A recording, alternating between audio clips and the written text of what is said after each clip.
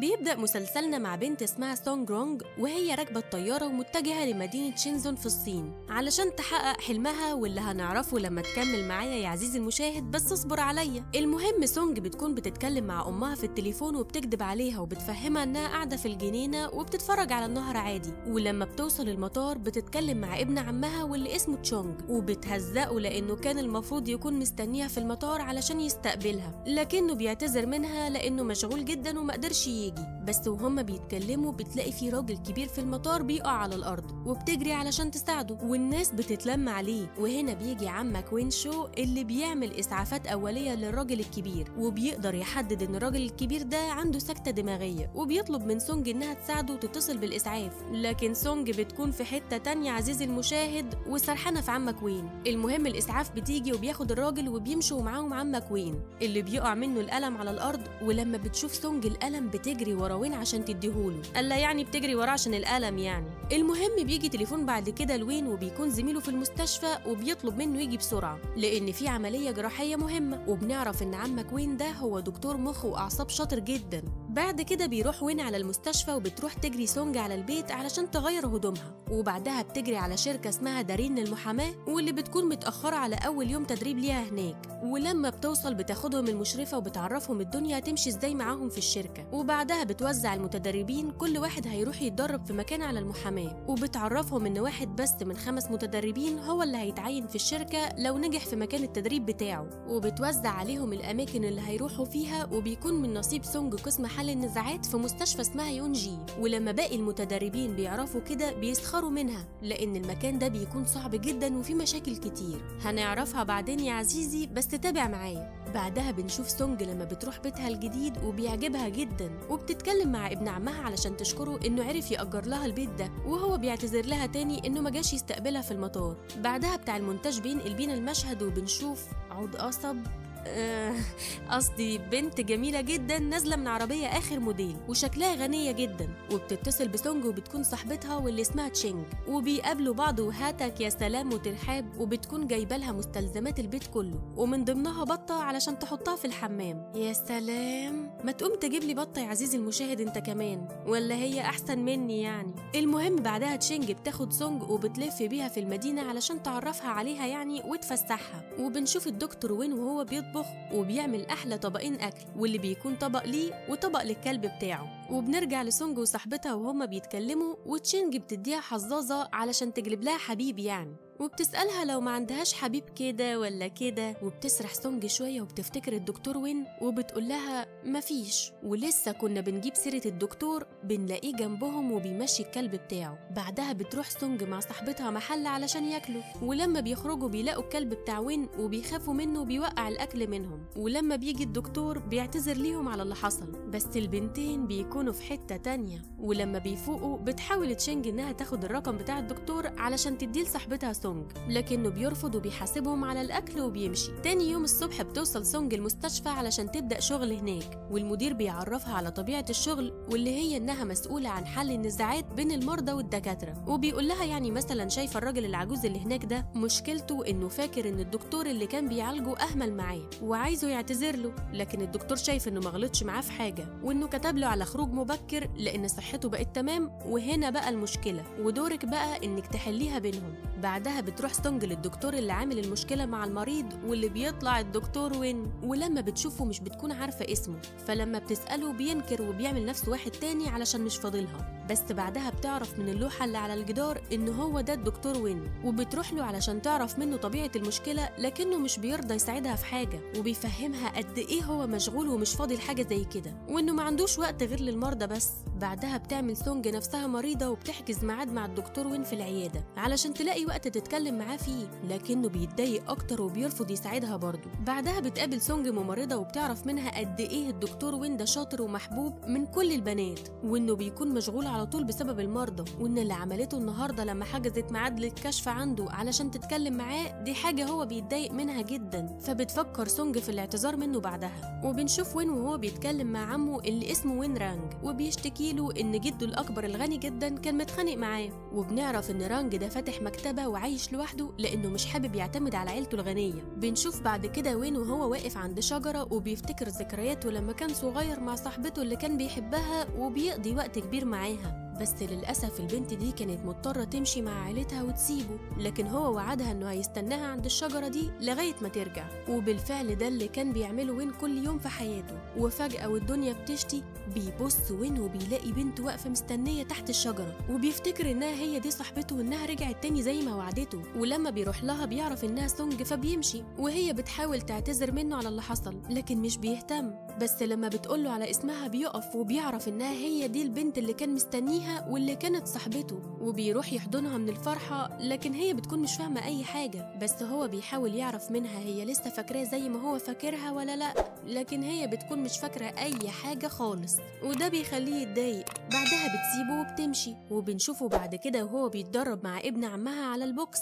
وفي نفس الوقت بيكون بيفكر فيها. بعد كده بتروح سونج للمطعم بتاع صاحبتها وبتكون مذهولة لأن المطعم بيكون فاخر من الآخر يعني. وبتتكلم مع صاحبتها وبعد شوية أسئلة من تشينج فسونج بتقر وبتعترف بكل حاجة حصلت لها في يومها. وبتحكي لها كمان على إن شغلها طلع صعب جدا. وكمان بتحكي لها على اللي حصل لها مع الدكتور وين وقد إيه هو شخص غريب. لكن صاحبتها تشينج بتقول لها إن ممكن يكون القدر هو اللي جمعكم على كده. كمان بتحاول ترفع من معنوياتها شوية لأن سونج بتكون حزينة. بعد كده لما بتروح سونج بتحاول إنها تشجع نفسها علشان تكمل في الشغل تاني وبتفتكر أبوها. وخلاص بتقول لنفسها أنا هبقى أحسن والدنيا مش هتعرف تغلبني. بتلاقي إن النور قطع عليها. يعني صباح النحس. بنشوف بعدها الدكتور وين اللي قاعد يتكلم مع ابن عمها وبيحاول يفهم منه معلومات عن سونج. وبيسأله هي في حد في حياتها ولا لأ. وابن عمها بيقول له لأ دي مقطوعة من شجرة. وبيجيله اتصال وبيكون من سونج. اللي بتقول له يجي يلحقها علشان النور قطع عندها ومش عارفة تتصرف. بيوصل لها ابن عمها البيت بعد كده ولما بتفتح في الضلمة بتاخده في الحضن. هتسألني مين يا عزيزي؟ هقولك أيوة هو ده. بتاخد الدكتور وين بالحضن؟ قال يعني مش شايفة. شغل بنات بصحيح. يعني لو ابن عمك هتحضنيه برضه؟ المهم بتتوتر بعدها وبيروح ابن عمها يصلح النور وهم قاعدين. وابن عمها بيقول لهم أنا نازل أجيب حاجات علشان يفضلهم الجو يعني. الله عليك يا ابني. لا راجل بصحيح. المهم وسونج بتتكلم مع وين؟ بتعرف إن هو صاحب الشقة دي وإن ابن عمها مأجر الشقة منه ووين بيستغل الموقف وبيطلب منها إنها تسجل رقم تليفونه علشان لو احتاجت حاجة. بس هي بتقوله لا خلاص مفيش داعي. لكن عمك وين بيكون عايز ياخد رقم تليفونها بأي طريقة؟ فبيقول لها انت مش كنت عايزة حل مشكلة المريض اللي فيه بيني وبينه نزاع ده؟ خلاص أنا هعمل لك ملخص كده يساعدك في شغلك وكمان هعمل لك تقرير مفصل. فسونج بتفرح جدا بكده بس بيقول لها هاتي رقمك بقى عشان أبعتهولك على الواتس. يا ابن الايه يا دكتور. إنه صياد ماهر يا جورج. وأول ما بينزل من هنا بيبعت لها رسالة إنها لو حابة تاخد التقرير يبقى تقابله بكرة الصبح في الجنينة. وبالفعل بتروح له الصبح علشان تاخد التقرير لكنه بيكون جايب لها هدوم رياضية وبيقول لها يلا نجري شوية وبعديها اديك التقرير. فبتتضايق سونج من كده بس قشطة بتروح معاه. وهاتك يا جري يمين وشمال على شوية ذكريات من الماضي وبيخلصوا جري بس سونج بتكون اتقطع نفسها يعني. وبتقول له يلا بقى اديني التقرير لكنه بيقول لها أنا قلت هديك التقرير بس ما قلتش إمتى. ده انت راجل غلس غلاسة يا جدع. وبيكمل ويقول لها إيه رأيك تجربي يوم كدكتوره معايا؟ علشان تعرفي إحنا بنتعب قد إيه. وبتوافق علشان تاخد التقرير بس. بعد كده بيقف كبير الأطباء يسأل عن حلول لبعض أمراض الجهاز العصبي. لكن محدش بيعرف وحتى ابن عم سونج مش بيعرف يجاوب. لكن سونج نفسها بتقول حل مبتكر والكل بيستغرب. وبعدها بيبدأوا يسخروا منها لما عرفوا إنها من قسم المحاماة المختص بحل النزاعات. بعد كده وهما ماشيين بنشوف دكتورة جميلة جدا وبيكون اسمها تشين شو يرحمكم الله. وبتعرف سونج إن تشين دي دكتورة ناجحة جدا ومشهورة زيها زي الدكتور وين بالظبط. وبتروح تشين تتكلم مع وين وبيبان عليها إنها عارفاه كويس وحافظة طباعه. بعد كده بيكملوا الجولة بتاعتهم وبيزوروا المرضى وبتتفاجئ سونج بإن وين بيجاوب على أسئلة المرضى كلهم بنفس الإجابة. وده لأن أغلب أسئلتهم بتكون مكررة. بعدها بنروح للأخت تشينج صاحبة سونج واللي بيكون المطعم بتاعها شغال الله ينور. لدرجة إنها بتحاول تحط كراسي من عندها على باب المكتبة اللي جنبها. لكن بتلاقي صاحب المكتبة موجود جوه وقافل على نفسه وبيبعت لها جواب من تحت الباب وبيقول لها إنه رافض فكرة الكراسي. بنشوف سونج اللي قاعدة تتغدى مع وين وبتحاول تسأله عن التقرير لكنه كالعادة بيتوه في الكلام وكل ده علشان تفضل معاه بس. ولسه بيتكلموا بيجيله تليفون إنه لازم يروح غرفة العمليات حالا. ولما بنرجع لتشينج بنلاقي إنها نفذت اللي في دماغها برضه وحطت الكراسي. لكن صاحب المكتبة خرج علشان يزعق لها. واللي بيكون رانج عم الدكتور وين الراجل بيحاول يفهم تشينج بالذوق إنه ما ينفعش كده وإنها تشيل الكراسي. لكن راسها والف سيف ما يحصل. فبيقوم مطلع الكلب بتاعه وحطه قدام المكتبة. فالزباين كلهم خافوا وجريوا من المكان. وادى تشينج كلمتين كده باللغة الكورية الفصحى في جنابها لكنها ما فهمتش حاجة علشان شكلها غبية أصلا. بعدها بتتقابل سونج مع تشينج وكل واحدة بتقعد تشتكي للتانية على اللي حصل لها في يومها. وبتعرف سونج من تشينج إن الطقم الرياضي والجزمة اللي وين جابهم ليها دول حاجة نادرة جدا ومش أي حد بيعرف يجيبهم. بتحس بعدها سونج بإن وين بيحاول يعاملها كويس فبتروح علشان تعتذر منه. لكنه بيكون في غرفة العمليات وبيطول جوه شويتين فبتقعد سونج تستنى إنه يخرج لدرجة إنها بتنام من كتر الانتظار. ولما بيخرج الدكتور وين أخيرا بيلاقي إن سونج قاعدة نايمة من كتر انتظارها ليه. فبيفتكر شوية ذكريات ليها وهي صغيرة وإنها كانت بتنام كده على طول. فبيروح يقعد جنبها وينام شوية هو كمان. بعد شوية بيجي ابن عمها وبيشوفهم وهم نايمين زي العصافير كده فبيقوم مصورهم ويمشي. ولما بيصحوا بتتوتر سونج وبعدها بتطلب من وين إنهم يروحوا ياكلوا في أي مكان لأنه طول اليوم كان في غرفة العمليات. وبالفعل بيروحوا مطعم تشينج صاحبتها واللي بتكون واقفة تتكلم مع حبيبها وبيقول لها كفاية شغل كده وروحي. لكنها بتكون سعيدة بشغلها لأنها بتحاول ما تعتمدش على عيلتها وأبوها الغني خالص. وبعدها بتحجز تشينج لسونج ووين ترابيزة حلوة كده وبيقعدوا يتكلموا. وهي بتسأله عن إزاي هو بيستحمل شغله كده وبيقعد يشرح لها وبيعرفها عن جراحة المخ. وكمان بيحاول يقرفها من الأكل لكنها بتكون جعانة فمش بيهمها وبتاكل عادي. ولما بياكلوا الاتنين بيلاقوا إن الأكل وحش جدا وحامي قوي كمان. بس مش بيقدروا يتكلموا علشان تشينج ما تزعلش إن أكلها وحش قوي. بس عمك وين بيكون في حتة تانية خالص وبيقعد يفتكر لما كانوا صغيرين وهي جت وأكلت من الأكل الحامي علشان تشجعه مع إنها مش بتحب تاكل حامي أصلا. بعد شوية بيدي وين الجاكيت بتاعه لسونج علشان الجو بقى ساقع وبيمشوا. لكن وهم ماشيين بيلاقوا المريض اللي فيه بينه وبين الدكتور وين مشكلة وهو قاعد ياكل. فبتسأله سونج إزاي هو قاعد ياكل كده بره المستشفى؟ هو مش كان عامل إضراب عن الأكل؟ فبيفهمها وين إن هو اللي بيبعت له الأكل في السر مع ابن عمها علشان ياكل مع إن وين عارف إن سبب المشكلة دي هي المريض ده وإنه ملوش ذنب. بس هو حابب يقعد في المستشفى علشان مفيش مكان تاني يروح له وعلشان كده بيعمل إضراب ولما بتروح سونج البيت بتحاول تكتب التقرير بنفسها وبتبعته لدكتور وين علشان يراجعه. وبيقول لها تمام وأنا كمان ظبطتلك فيه شوية حاجات وبعتهولك. وبيخلص معاها وبيقول لها نامي بدري يلا وتصبحي على خير. فبترد وتقول له تصبح على خير. وأنت كمان عزيزي المشاهد تصبح على خير. إيه ده أنت ما صدقت ولا إيه؟ اصبر معايا نخلص الملخص وبعدها نام براحتك. تاني يوم الصبح لما بتوصل سونج المستشفى بتلاقي إن كل الموجودين بيبصوا عليها وبيتكلموا عليها كمان وبتكون مستغربة إيه سبب كده؟ وبعد شوية بتحاول تعرف إيه اللي مخلي المكان كله يتكلم عليها. فبتحاول تلمع أوكر وبتعرف من الممرضات إن الصورة بتاعتها هي ووين انتشرت على النت.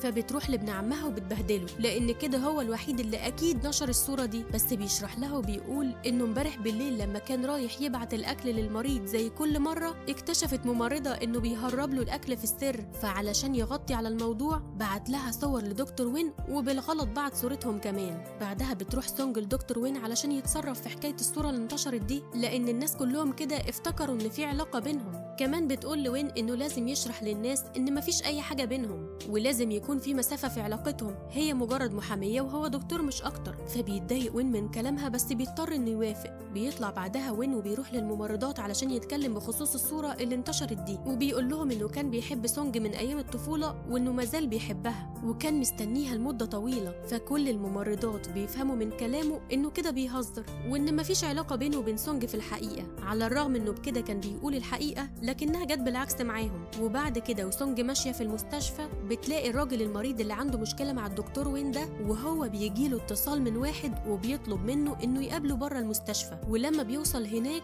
بيلاقي الشخص ده وبيتكلم معاه. وبتكون سونج كل ده بتراقبه وبتسمع الراجل ده وهو بيحاول يقنع المريض إنه يسيب المستشفى ويروح عنده في العيادة بتاعته. وإن هناك عنده سراير مريحة جدا وعناية عالية وكل ده بمقابل بسيط.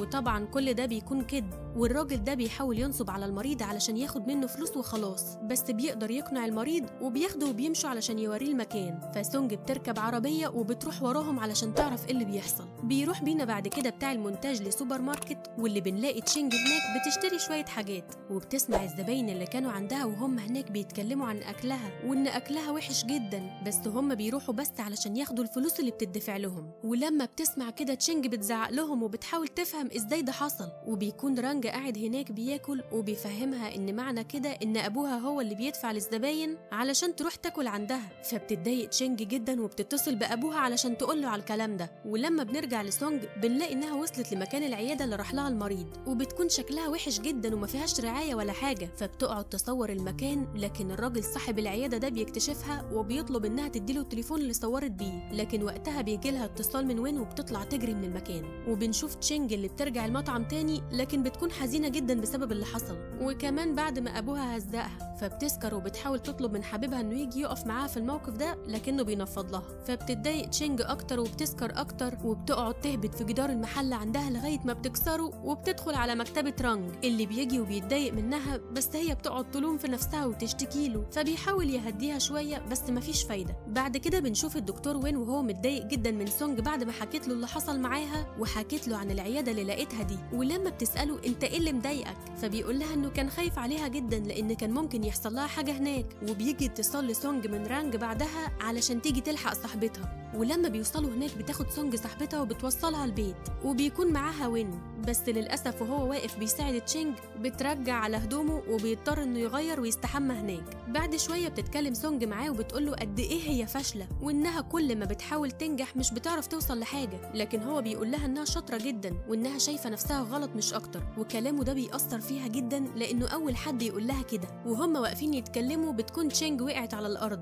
فبتطلب من وين إنه يجيب لها هدوم من الدولاب؟ لكن وقتها أم سونج بتتصل وتشينج بتفتح عليها بالغلط فبتضطر سونج إنها تخبي وين جوه الدولاب علشان أمها ما تشوفهوش. لكن لما بترد على أمها أمها بتشك إن في راجل عندها في البيت فوين بيخبي وشه وأمها بتشوف جسمه بس فبتحسب إنها واحدة صاحبتها وبيعدي الموقف. بس أم سونج بتطلب منها إنها تشرح لها كام حاجة كده في مادة الإنجليزي وسونج بتقعد تفهمها. وفي الوقت ده بيكون الدكتور وين اتخنق من الحبسة في الدولاب بس مش بيرضى يخرج علشان أم سونج ما تعرفش ويسبب لها مشكلة. وفين وفين لما سونج بتخلص المكالمة وبتفتكر الراجل اللي كان هيخلل ده في الدولاب. ولما بتفتح عليه بيكون مش قادر يقوم لأنه رجله نملت من الحبسة ولسه بيطلع ياخد نفسه شوية بيخبط الباب. وبيكون ابن عمها اللي بيتفاجئ لما بيشوف الدكتور وين باللبس اللي هو لابسه ده. بعدها بينزل وين مع ابن عم سونج علشان يوصله بالعربية. وبيتكلموا عن سونج ووين بيعرف إن سونج عاملة قايمة بمواصفات الراجل اللي ممكن تحبه؟ ووين بيطلب ياخد القايمة دي من ابن عمها علشان يشوف المواصفات دي تنطبق عليه ولا لأ؟ ولما ابن عمها بيقول له لأ بينزله من العربية. تاني يوم الصبح بتصحى سونج وبتحضر الفطار ليها ولصاحبتها وبتنزل الشغل. وهي في العربية بتقرأ على النت عن سعر كراسي المستشفى اللي الراجل المريض هيشتريها من الراجل النصاب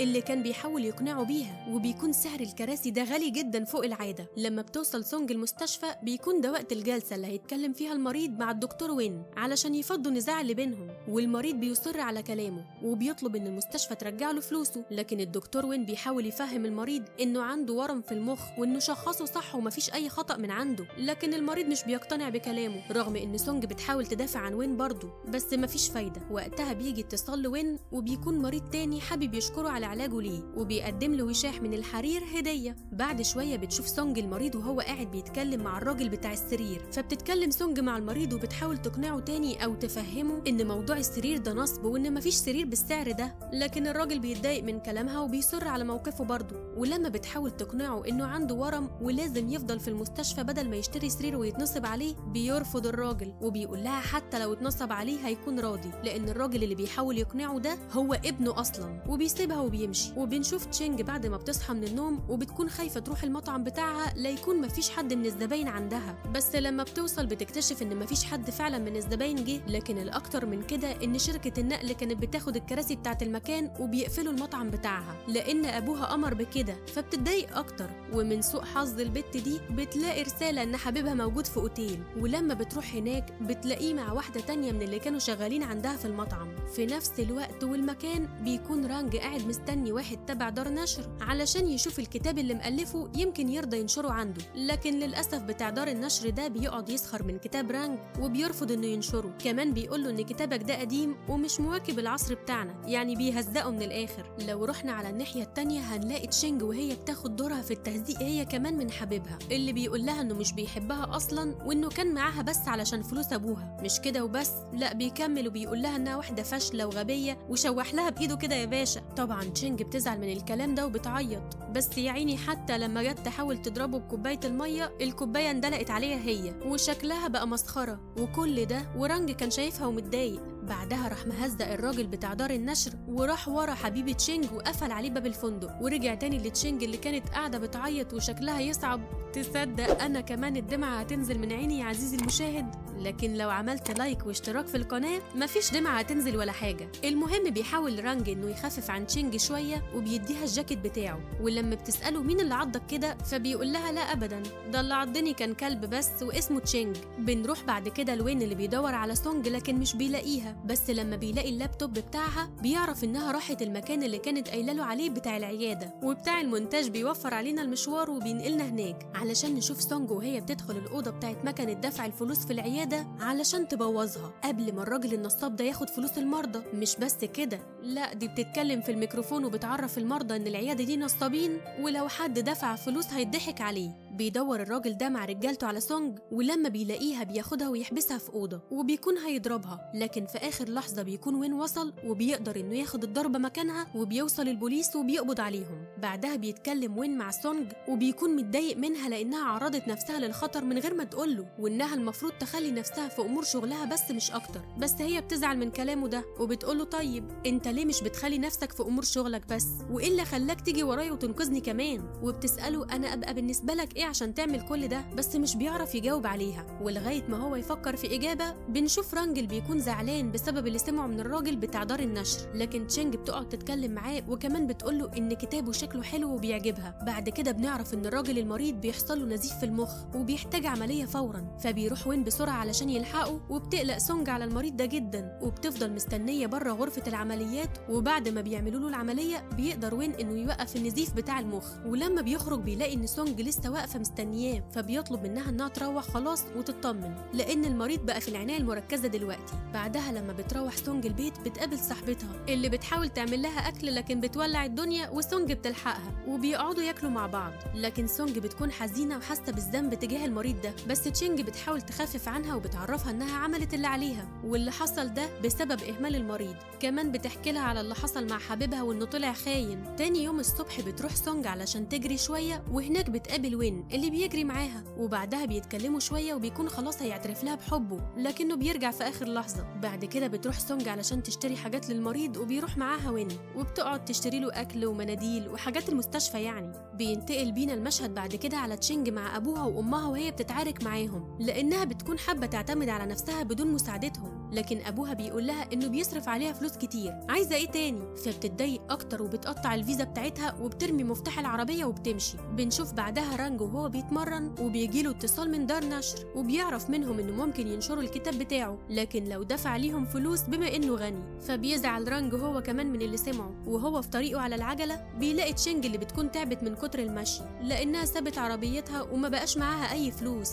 فهي أول ما بتشوفه بتفتكره إن هو ده بقى الفارس اللي على حصان وجاي ينقذها لكنه بيرفض أصلا يساعدها فبتصر عليه وبتركب وراه العجلة علشان يوصلها. لكن شرطي المرور بيوقفهم وبيطلب منهم غرامة. بس تشينج مش بيكون معاها فلوس تدفع أصلا فبتتحايل على رانج إنه يدفع وبيدفع في الآخر. وبتقول له كمل جميلك بقى ووصلني. لكن الراجل بيجيب آخره منها وبيسيب لها العجلة وبيروح هو يركب تاكسي. بنروح نشوف سونج اللي بتكون قاعدة جنب المريض وبتحضر له الحاجات اللي جابتها له. وبعدها بتتكلم معاه وبتفهمه إنها من هنا ورايح هتكون زي بنته وهتهتم بيه وبيسمعها وين وبيتاثر بكلامها لكن هي مش بتشوفه. بتوصل تشينج أخيرا عند مطعمها بعد مشي كتير وبتكون جعانة جدا فبتقعد تاكل الأكل بتاع رانج اللي كان قاعد يتفرج عليها وهو مذهول منها. بس بيسيبها تاكل لما بيتأكد إنها مش معاها فلوس. تاني يوم بتروح سونج للاجتماع اللي عاملاه المشرفة بتاعت تدريبها في الشغل تبع شركة دارين وبيكون كل المتدربين هناك على الغدا وكل واحد فيهم بيتكلم عن إنجازاته في الشغل اللي حققها. لكن لما بيجي الدور على سونج مش بتلاقي حاجة تقولها لأنها ما حققتش أي إنجاز لغاية دلوقتي. وبتكون سونج محبطة جدا بسبب كده وبيكملوا المتدربين الاحتفال لكن واحدة منهم بتروح وبترخم على سونج أكتر لأنها مش شاطرة زيهم. فبتتضايق سونج وبتسكر بعدها ولما بتشوف وين بتجري عليه وبتحضنه وهو بيكون متفاجئ من اللي بيحصل. بعد كده بيوصل وين سونج بالعربية وهي بتقول له إنه شخص ناجح جدا وإنها سعيدة إنها معاه. وطبعا كل ده وهي بتكون سكرانة على الآخر لدرجة إنها بتنام في السكة وبيضطر وين إنه يروحها البيت. تاني يوم الصبح لما بتصحى سونج بتقعد تشتم في نفسها لما بتفتكر اللي عملته امبارح بالليل لما سكرت وبتنزل تروح على الشغل. لكن لما بتيجي تطلب القهوة بتلاقي إن في حد حاسب لها خلاص. ولما بتروح تطلب أكل بتلاقي إن نفس الشخص ده دفع لها وبيكون سايب لها رسالة إنه جارها الجديد. حتى لما بتركب التاكسي بيكون دافع لها فبتستغرب جدا وبتقول لصاحبتها على كده. بعدها بتقابل وين وبتحاول تعتذر منه على اللي حصل امبارح وبتقول له إن ده حصل لأنها كانت سكرانة بس لكن هو مش بيصدقها وبيقول لها إنها كانت في وعيها. يعني مش سكرانة قوي وقت ما حضنته وبيقعد يجرها في الكلام وبتكون خلاص هتعترف إنها بتحبه لكن بتمسك نفسها في الآخر. بيكتشفوا بعد كده إن المريض فاق وطالب إنه يشوفهم. فبيروحوا له وبيحتفلوا معاه وبيطلب منهم إنهم يتصوروا كلهم مع بعض. وده اللي بيحصل والدنيا بتبتدي تحلو لسونج. حتى وهي ماشية بيجي لها رسالة من المشرفة بتاعتها بتقول فيها إنها نسيت تقول لها إنها نجحت في أول شهر ليها بامتياز. بالليل لما بتروح سونج البيت بتاعها وهي طالعة من الأسانسير فجأة النور بيقطع وبتخاف. كمان بتلاقي صناديق جنب الباب بتاعها وبتعرف إنها للراجل جارها الجديد اللي كان بيدفع لها من أول النهار. ولما بتفتح الصناديق دي بتلاقي هيكل عظمي وبتخاف سونج جدا وبتجري على شقتها وبتتصل بصاحبتها بسرعة. يمكن تيجي تلحقها وتشينج بتطمنها وبتقول لها أنا جاية أهو بس انزلي لي تحت. فبتطلع سونج عشان تركب الأسانسير. فجأة سمعت صوت وفكرت إنه حرامي وطلعت علشان تضربه. بس لما النور بينور تاني بتلاقيه وين وبيطلع ساكن في الشقة اللي جنبها. بتوصل تشينج صاحبتها وبتشوفهم سوا وبتقول لها ده أكيد القدر اللي جمعكم. لما بيقعدوا في البيت سونج بتسأل وين إيه اللي خلاه نقل فجاه هنا؟ فبيقول لها أصله قريب من المستشفى. بس طبعا ده مش صح لأن المستشفى بعيدة جدا عن السكن ده. وتشينج بتقول لسونج إن وين شكله بيتلكك وإنه بيحبها ونقل هنا علشان خاطرها. وشوية وعلاقتهم هتتطور وتبقى حب بس طبعا هي مش بتصدقها. لكن بنعرف إن اللي كان بيسيب الأكل والملاحظات لسونج هو وين بترجع سونج شقتها مع صاحبتها اللي بتحاول تقنعها إن وين بيحبها وإن شوية وهتلاقيه بيتحجج علشان ياكل معاها ويروح معاها الشغل. حتى بتقول لها إن كل اللقاءات اللي حصلت بينهم مستحيل تكون صدفة وإن وين شكله يعرفها قبل كده. وبكرة تقول تشينج قالت بيناموا الاتنين بس سونج بتفضل تفكر في كلام صاحبتها. وتاني يوم بتخرج سونج علشان تروح الشغل وبتقابل وين اللي بيطلب منها يروحوا الشغل سوا. حتى إنه بيروح معاها الشغل بالباص رغم إن عنده عربية مش بيرضى يروح بيها. طبعا فرصة يتلزق في الجو. بيوصلوا أخيرا للشغل ووين بيطلب من سونج تفطر معاه. فبتفتكر كلام صاحبتها وبترفض بسرعة إنها تروح معاه. بتقابل سونج ابن عمها شين اللي بيقول لها إنه اتقبل في المسابقة اللي هتكون بين المستشفيات وبيعرفها إن وين هيكون معاهم فيها. بنشوف وين وهو مع المدير وبيعرفوا إن هو وتشو وتشينج هيكونوا سوا في الفريق.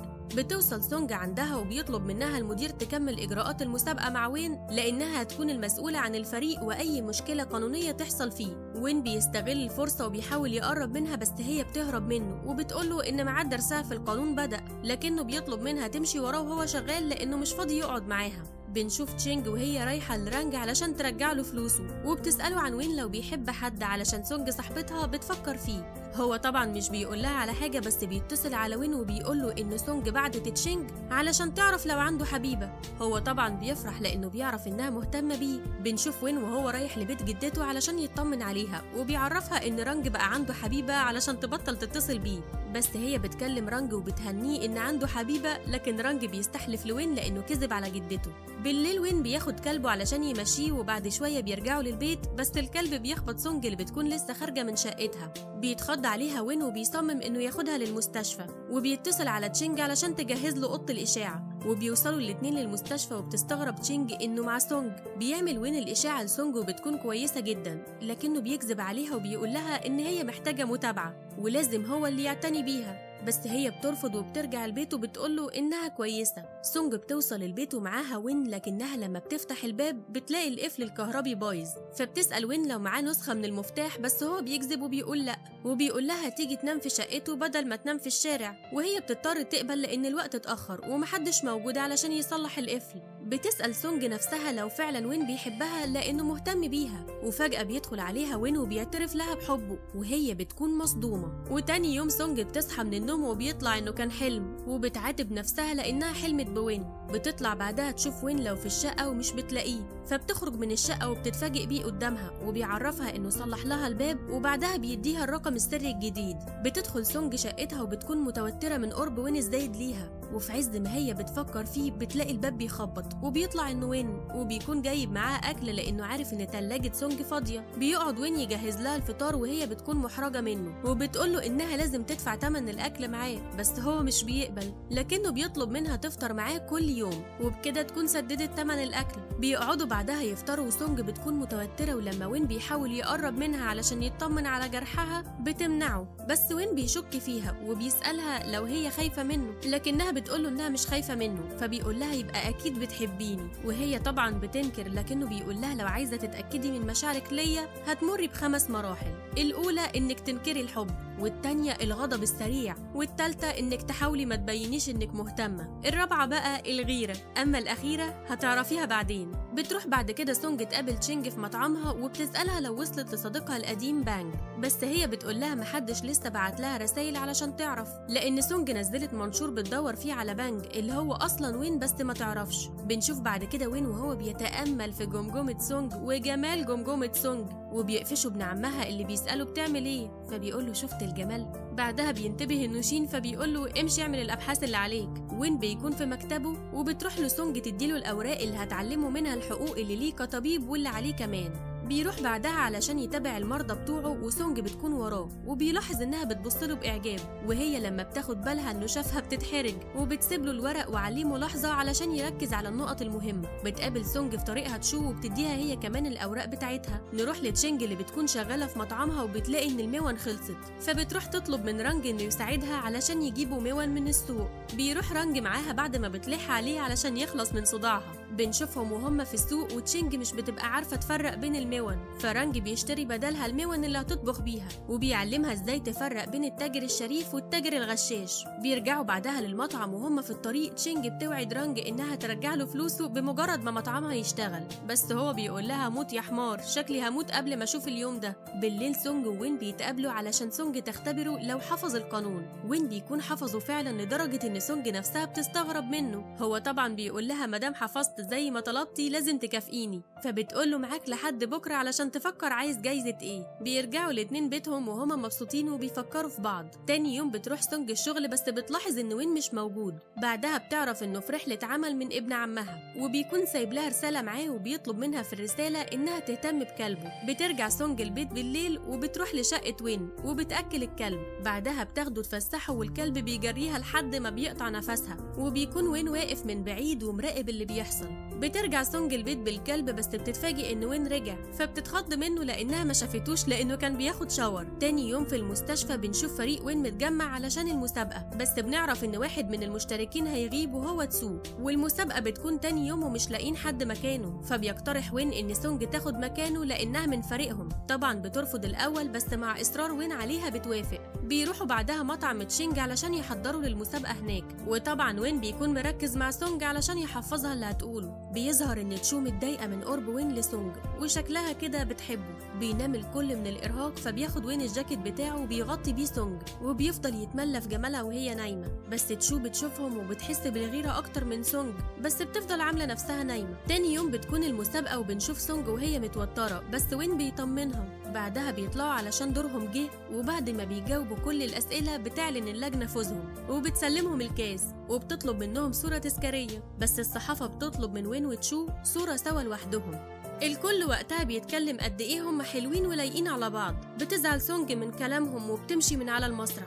بتروح سونج بعدها تشتري أكل بس في طريقها للبيت بتلاقي اتنين معاهم كلب وين فبتصورهم وبتروح بعدها تطالبهم بالكلب وبتعرفهم إنها صورتهم وهتبلغ عنهم. فبيسلموا لها الكلب وبتاخد سونج الكلب وبترجعه لوين وبتعاتبه لأنه ساب كلبه. لكن سونج بتتفاجئ إن كلب وين أصلا معاه وبيطلع إن ده كلب شكله فبتقول لوين خد أنت الكلب بقى اتصرف معاه لأني ماليش فيهم. بالليل بنشوف سونج وهي بتجهز نفسها للنوم وبتجيلها رسالة من وين اللي بيعرفها إنه لقى صاحب الكلب وطلع يتعشى معاه وبيقول له إنه بيشكرها لأنها لحقته من إيدينا بيسيب لها الفطار على بابها وبينزل الشغل. بيوصل وين وتشو في نفس الوقت للمستشفى وتشو بتعرف وين إن المستشفى صرفت لهم مكافأة علشان فازوا في المسابقة. بتقترح تشو عليه إنهم يعملوا بيها مخيم ويطلعوا يتفسحوا. بيسمعهم تسو اللي المفروض كان يشترك معاهم في المسابقة وبيطلب منهم يروح معاهم المخيم على حسابه. فبيوافق وين علشان سان مرات سو تتفسح معاهم. بس لما بيعرضوا الموضوع على سونج بترفض تروح معاهم. كمان وين بيستغرب من معاملتها ليه؟ لأنها بتتعمد تتجاهله. وتشو لما بتشوفه مهتم بيها بتتضايق وبتمشي.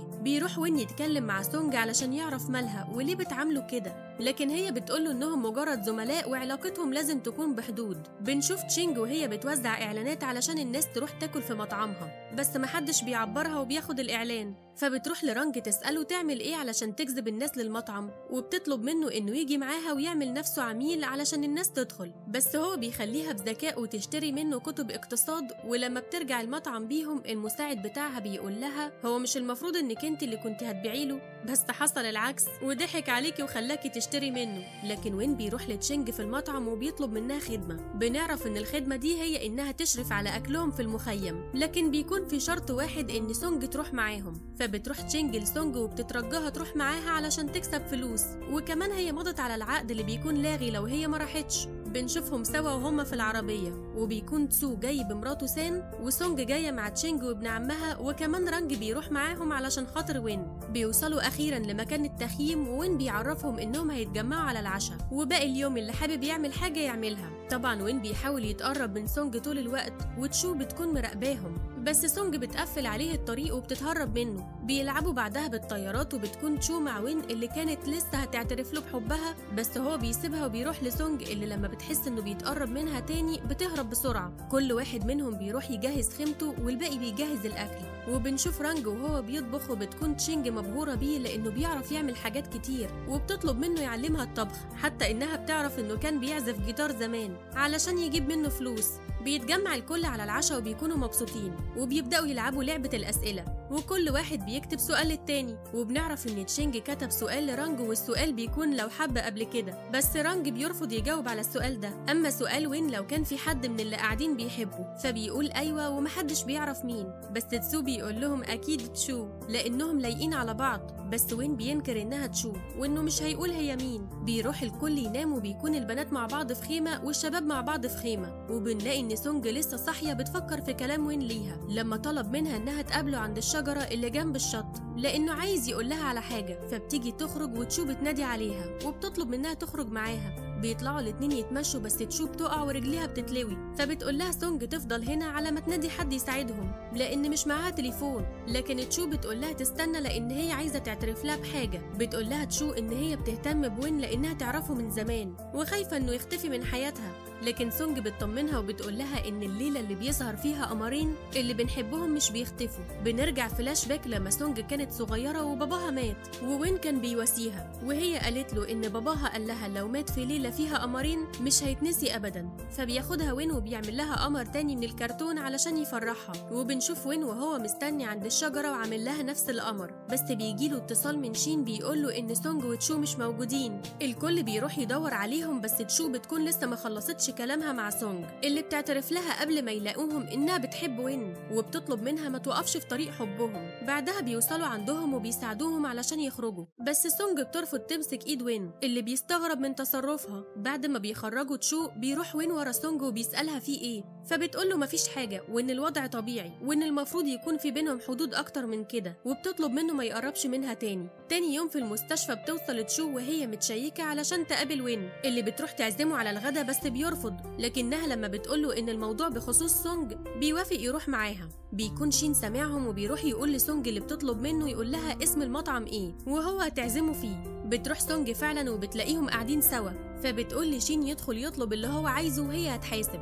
بس لما بتشوف تشو وهي بتقرب من وين بتغير وبتمشي وتسيب شين. أما تشو لما وين بيسألها كانت هتقوله إيه عن سونج بتكذب عليه وبتقوله إنها طلبت منها يبعد عنها لأنها بتحب شخص تاني وبتقوله إنها بتحبه من وقت ما كانوا في الجامعة حتى إنها دخلت القسم بتاعه علشانه مخصوص. لكن وين بيقول لها إنه بيحترمها كزميلة لكنه مش بيحبها. بنشوف شين الغلبان بعد ما نزلت له الفاتورة واتفاجئ إن سونج سابته ومشيت. فلبس هو فيها. بيروح وين لسونج بعد العشاء وبيسألها هي بتحب مين وبتهرب منه ليه؟ فبتقوله إنها مش بتهرب منه لكنها مش عايزة تكون عزول بينه وبين تشو لأنه بيحبها بس هو بيقول لها إن مش تشو اللي بيحبها. والذكي يفهم بقى أنا بحب مين؟ يعني افهمي يا غبية وخلينا نخلص. تاني يوم مامة سونج وخالتها بيروحوا لشين المستشفى وبيتفاجئوا بسونج هناك فمامتها بتنهار وبيغمى عليها. ولما بتفوق سونج بتكذب عليها وبتقول لها إنها دكتورة هنا. بتاخدها سونج وبترجع بيها بيتها. بس قبل ما تدخلها بتشيل كل الكتب الخاصة بالمحاماة. علشان ما تتقفش بتدخل بعد كده مامتها الشقة وبتنبهر من جمالها ومن سعرها كمان. لأنه رخيص جدا بالمقارنة مع أسعار الإيجار اللي موجودة. بس لما بتعرف إنها شقة وين الواد بيحلو في عينيها وبتقول في نفسها هو ده العريس اللي ينفع بنتي. كمان بتفرح لما تعرف إنه جار بنتها. وبيطبخ لها ساعات وبيجيب لها الطلبات. يعني من الآخر بيقولك أنا العريس المثالي حد يلاقي كده ويقول لأ طبعا خالتها بتطمن منه إنه مش مرتبط وهو بيطمنها إنه لسه سنجل فبتقول الخالة لأختها يا عريس من ده يا بلاش. بتحاول سونج تقنع مامتها ترجع استراليا بس بتقول لها أبدا أمال مين ياخد باله منك؟ ويشقط العريس. أنا قاعدة هنا لحد ما أشوف عيالك. بعد كده أختها بتاخد ابنها علشان تخلي لهم الجو هما التلاتة. بس شين بيطلب من وين يتكلم معاه بره وبيقول له إنه مش لازم يزعل بنت عمه ولا يحرجها لو كان بيحبها بجد. فبيقول له وين أول مرة أشوفك راجل ياض بس عجبتني. نروح لتشينج اللي مدوخة رنج معاها وشكلها شغلته لحسابها وبتطلب منه يساعدها في إنها تدخل المؤن اللي جاية لها جوه المحل بتاعه علشان ما عندهاش مكان. بس وهي بتدخل معاها الكراتين بتكسر الجيتار بتاعه وهو بيتضايق وبيتخانق معاها. فبتزعل تشينج وبتقول له إنها مش راجعة هنا إلا لما تصلحه. بيحس رانج إنه اتسرع وزعل تشينج لكنه بيقرر يعوضها لما ترجع. نرجع لوين اللي قاعد بيطبخ لسونج وأمها علشان ينول الرضا. ومامة سونج طبعا عاجبها الوضع ومبسوطة إنها لقت عريس زي ده. لما بيقعدوا على الأكل مامة سونج بتفضل تسأله عن عيلته وبتعرف حاجات كتير عنه. بعدها بتسأله لو بيحب حد. فبيقول لها إنه بيحب بنت قصيرة وشعرها قصير وعنيدة حبتين فبتقول له تقصد اللي لابسه أصفر؟ فبيقول لها أيوه وطبعا هو كده بيعترف إنه بيحب سونج اللي عاملة نفسها من بنها ومحرجة من كلام والدتها وبتسيبه وبتروح المطبخ من الإحراج.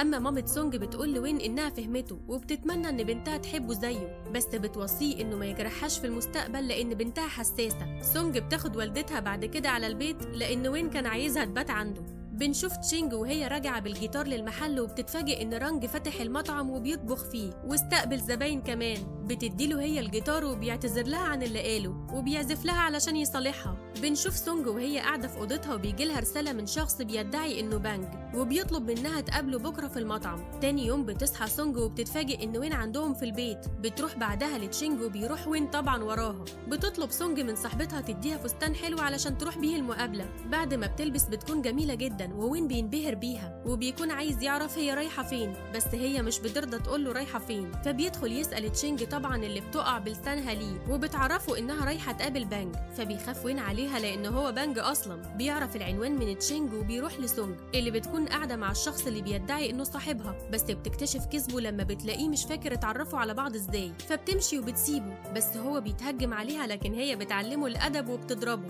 ولما بيوصل وين بيلاقيها بتضربه. وبيقول لها كان لازم أخاف عليه مش عليكي. بياخدها وين علشان يروحها وهو بيسألها وهم في الطريق. لو صاحبها وحشها فبتطلب منه ينزلها لأنها زعلانة وعايزة تتمشى. بس وين بينزل معاها وبيقول لها إنه يعرف مكان بانج وبياخدها عند الشجرة اللي كان وعدها إنه هيستناها تحتها. وبيعرفها إن هو بانج اللي بتدور عليه من زمان. وهي طبعا بتتفاجئ. لكنه بيقول لها تعرفه إزاي. وكمان بيحكي لها على قصة القمرين. وبعدها بيعترف لها إن هي البنت اللي بيحبها. مش تشو زي ما هي فاكرة. بيرجعوا الاتنين البيت وبيودعوا بعض وهما مبسوطين إنهم اتقابلوا أخيرا. كل واحد منهم بيدخل بيته وبنشوف سونج وهي قدام المراية وبتفتكر الندبة اللي في راسها. وبنعرف إنها لما كانت في سباق المدرسة وقعت وهي بتتسلق السور بس وقعت على واحدة من حلويات وين اللي بتجرح راسها. بالليل لما بتروح سونج تنام مامتها بتكون عايزة تعرف هي مبسوطة ليه فبتقول لها إن هي قابلت أخيرا صديق طفولتها بانج. تاني يوم الصبح سونج بتكون قاعدة بتفطر مع مامتها وبتقول لها إنها لازم ترجع أستراليا لأن هي مش فاضية تقعد معاها وده أكيد هيأثر على نفسيتها. فبتقول لها مامتها ريحي نفسك أنا كنت راجعة أصلا. بتروح سونج تشتري أكل من السوبر ماركت علشان تطبخه وبتقابل وين هناك وبتعرفه إن مامتها راجعة أستراليا بكرة وهي حابة تعمل لها غدا قبل ما ترجع. نروح لتشينج اللي قاعدة في مطعمها ومستنية رانج يخرج علشان تتكلم معاه. ولما بيخرج بتتلكك علشان تكلمه. بس هو بيقول لها إنه مشغول علشان رايح يتسلق الصخور. فبتقول له ده أنا مفيش أحسن مني في اللعبة دي خدني معاك. بياخدها رانج معاه وبتظهر الحقيقة إنها فاشلة في اللعبة زي ما أنتوا شايفين. بتفضل تشينج تصور في رانج وبيظهر إنها بدأت تعجب بيه. في المستشفى بنشوف سونج وهي مرهقة فوين بيروح يدلك رقبتها؟ وبيشوفهم شين وهم مقربين من بعض وبيقول لهم والله ما أنتوا متحركين اعتبروني مش موجود. في بيت سونج بتقرر والدتها إنها تعمل حملة تنظيف للبيت قبل ما تمشي. مش عارفة هتنضف فيه إيه أكتر من كده. ده البيت بيلمع. المهم بتلاقي وهي بتنظف ورق توظيف سونج في مكتب محاماة. وبتعرف إن بنتها كدبت عليها وبتقرر تسود يومها النهاردة وبتتصل على سونج وهي في الشغل وبتعرفها إنها اكتشفت كدبتها وبتقول لها إنها رايحة تقدم استقالتها دلوقتي لشانج المدير بتاعها. بتجري سونج طبعا علشان تلحق مامتها قبل ما تدمر مستقبلها. بتوصل والدتها للمكتب وبتطلب تقابل شانج اللي بياخدها على مكتبه علشان يتكلموا وبتديله ورق استقالة سونج. بس هو بيسألها لو سونج تعرف باللي هي هتعمله لأنه عارف إن سونج حاربت علشان توصل للمكان ده. بس مامتها بتقوله مش مهم هي عايزة إيه المهم إنها تعرف مصلحتها. طبعا شانج مش بيقبل الاستقالة غير لما سونج تقوله بنفسها إنها موافقة. بس بنعرف إن مامة سونج خايفة على بنتها تموت بسبب الضغط زي باباها. لكن شانج بيطمنها إن مش كل الناس زي بعض. بتوصل سونج أخيرا للمكتب وبتاخد والدتها وبيخرجوا من المكان. لكنها بتتخانق معاها وبتطلب من والدتها تبطل تتدخل في حياتها. لأنها كبرت وعرفت هي عايزة إيه. الكلمتين دول بيزعلوا مامتها طبعا. اللي بتمشي وبتسيب سونج. بيطلع بعدها شانج اللي بيوصل سونج للبيت وبيقول لها ما تزعلش من مامتها لأنها خايفة عليها وبيطلب منها تقنعها بالهدوء إنها تكمل في المحاماة. بتوصل سونج البيت وبتلاقي إن والدتها لسه ما رجعتش حتى إن تليفونها مقفول. بس بيجي لها رسالة من تشينج بتعرفها إن مامتها عندها. بيروح لها وين علشان يرجعها البيت وهي بتكون رافضة. فبيتكلم معاها وين علشان يعرف سبب رفضها إيه. بتعرفه إن والد سونج كان محامي وبسبب وظيفته كان دايما بعيد عنهم. وفي الآخر مات بسبب المرض اللي جاله من الزعل. بيقنعها وين إن سونج مش زي باباها وهتتحمل الضغط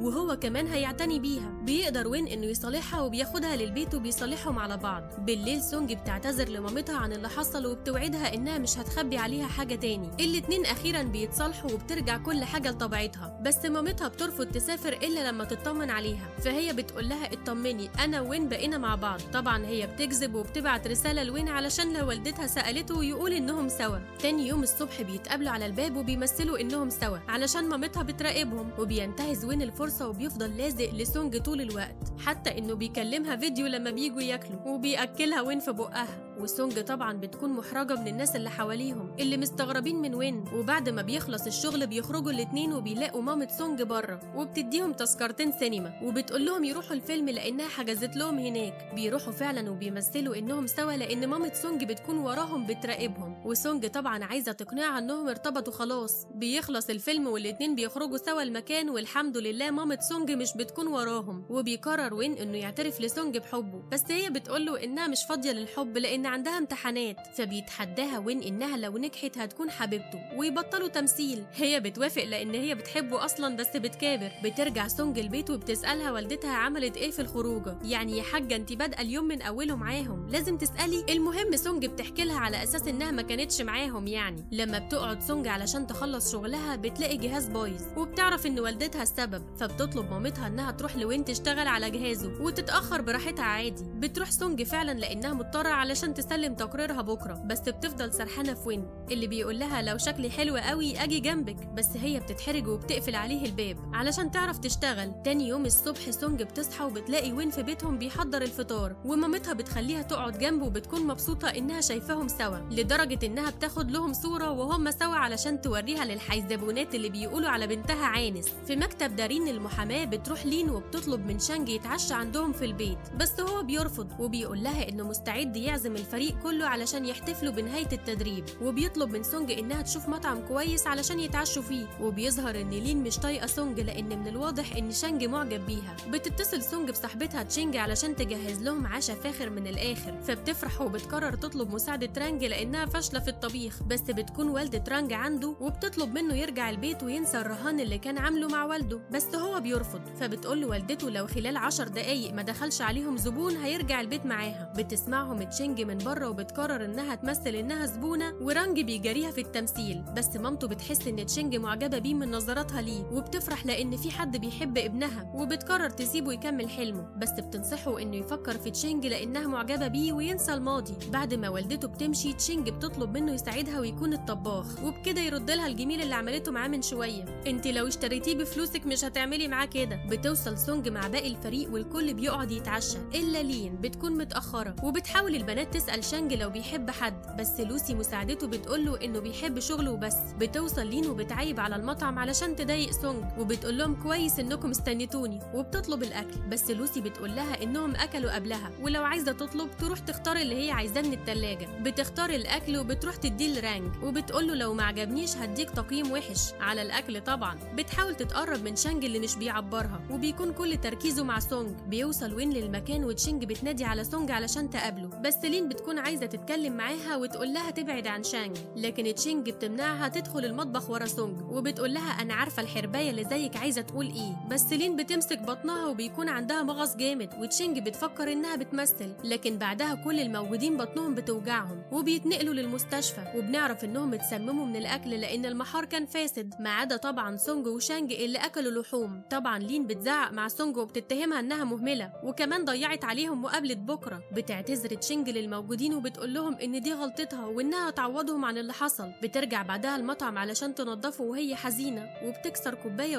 وبتجرح صباعها. فرانج اللي كان بيساعدها بيتخض عليها وبيقول لها تقعد وهو هيكمل. بس هي بتعيط وبتقول له إنها فاشلة وملهاش في الشغل. بتنام بعدها ورانج بيدخلها أوضته. بتصحى بعد ساعات وبتلاقي أصحابها موجودين وبينضفوا المكان. فبتشكرهم لأنهم سندوها وواقفين جنبها. تاني يوم سونج بتاخد التقارير وتقدمها لشانج علشان تعوض لين. بس شانج بيعرفها إن المحامي تان قرر يأجل ميعاد المقابلة ليوم تاني. بنشوف تشينج بعد ما شمعوا مطعمها وبتكون زعلانة على اللي حصل. فبيقول لها رانج إنهم لازم يعرفوا إيه سبب تسمم الناس وبيدخلوا يدوروا في مطعمها اللي دخلوه من محل رانج على الأكل الفاسد. وبيكتشف رانج إن المحار هو السبب لأن سعره رخيص جدا. بنشوف سونج وهي في المقابلة وبتنجح والكل بيعجب بيها وبيقرر شانج إنها تكون سكرتيرته. أما رانج وتشينج بيوصلوا للمحل اللي باع لها المحار وبيقدروا إنهم يسجلوا له وهو بيفرجها على المحار الفاسد اللي بيبيعه بالرخيص. بياخدوا الفيديو بعدها ويسلموه للشرطة اللي بتقبض عليه وبترجع المطعم لتشينج. بتروح بعدها تشينج لسونج وبتقول لها إنها وقعت في حب رانج خلاص وناوية توقعه في حبها. بعدها بيجي رسالة لسونج بيبلغوها إنها نجحت واختاروها لوظيفة المساعدة. بتفرح طبعا وبترجع البيت علشان تبلغ وين إنها فازت. وبتقول له إنها خلاص هتكون حبيبته وبتشوفهم مامتها وهم سوا وبتفرح جدا. وساعتها بتقرر إنها تسافر. وبيوصلها وين وسونج للمطار وبتوصي وين على بنتها وهو بيوعدها إنه هيحافظ عليها. تاني يوم بيوصلها وين للشغل لأن ده أول يوم شغل رسمي ليها. وبيهتم بيها وبيكون جايب لها أكل. وهي بتقول له إنها هتقابله بالليل علشان يتعشوا سوا ويكون ده أول ميعاد ليهم رسمي.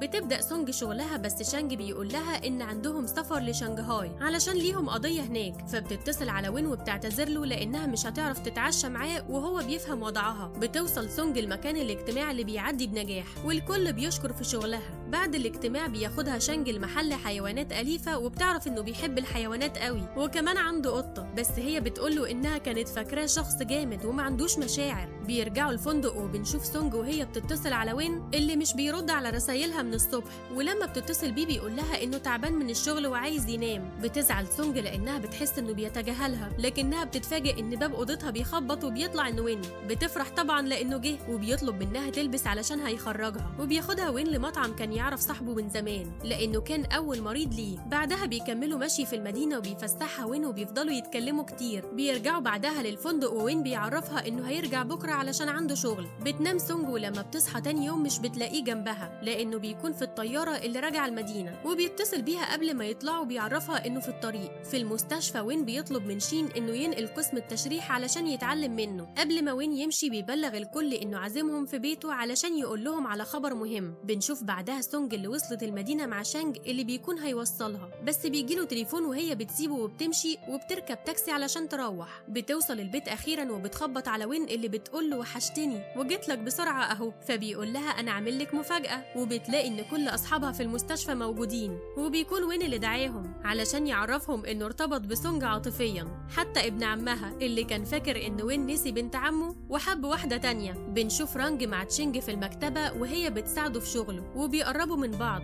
والظاهر كده إنه خلاص هيقع في حبها. بس وهي بتدور في حاجاته بتلاقي سي دي متسجل عليه فيديو ليه مع حبيبته. ولما بيشوفها رانج مشغلاه بيتعصب عليها وبيطردها من المكتبة بس لما مش بترضى تخرج بيمشي هو وهي بتروح وراه علشان تصالحه وبتقدر تشينج إنها تصالحه وبيقعدوا يتكلموا سوا عن الماضي وبيشوفهم وين وسونج اللي كانوا بيتمشوا في نفس المكان وبيتراهنوا إن تشينج هتقدر توقع رانج في حبها. تاني يوم بتكون سونج في شغلها والكل بيكون ملاحظ إنها شاطرة بس شانج بيكون سرحان فيها ومش مركز في الشغل. بعد ما بتخلص شغل بتروح لوين علشان يروحوا سوا بس للأسف بتدخل حالة طوارئ وبيكونوا محتاجينه في العمليات. وسونج بتقول له يروح وإنها متفهمة إنه مطلوب دايما. بيدخل العملية اللي بيكون هو وتشو شركا فيها. بعد ما بيخلصوا تشو بتحاول تكلمه وبتقول له إنها بتحبه. بس هي عارفة إنه بيحب سونج وبتتمنى لهم السعادة. بيرجع وين لسونج اللي بيلاقيها نايمة. بس بيلاحظ إن وشها وارم فبياخدها للدكتور. وبيطلع إن ضرسها ملتهب. أما عند تشينج بنشوفها مع رانج ومعاها هدية ليه. بس هو بيديلها فلوسها وإلا مش هياخدها. بتزعل تشينج لأنها بتفهم إنه لسه زعلان منها. بترجع سونج البيت وبيصمم وين إنها تروح عنده علشان تاكل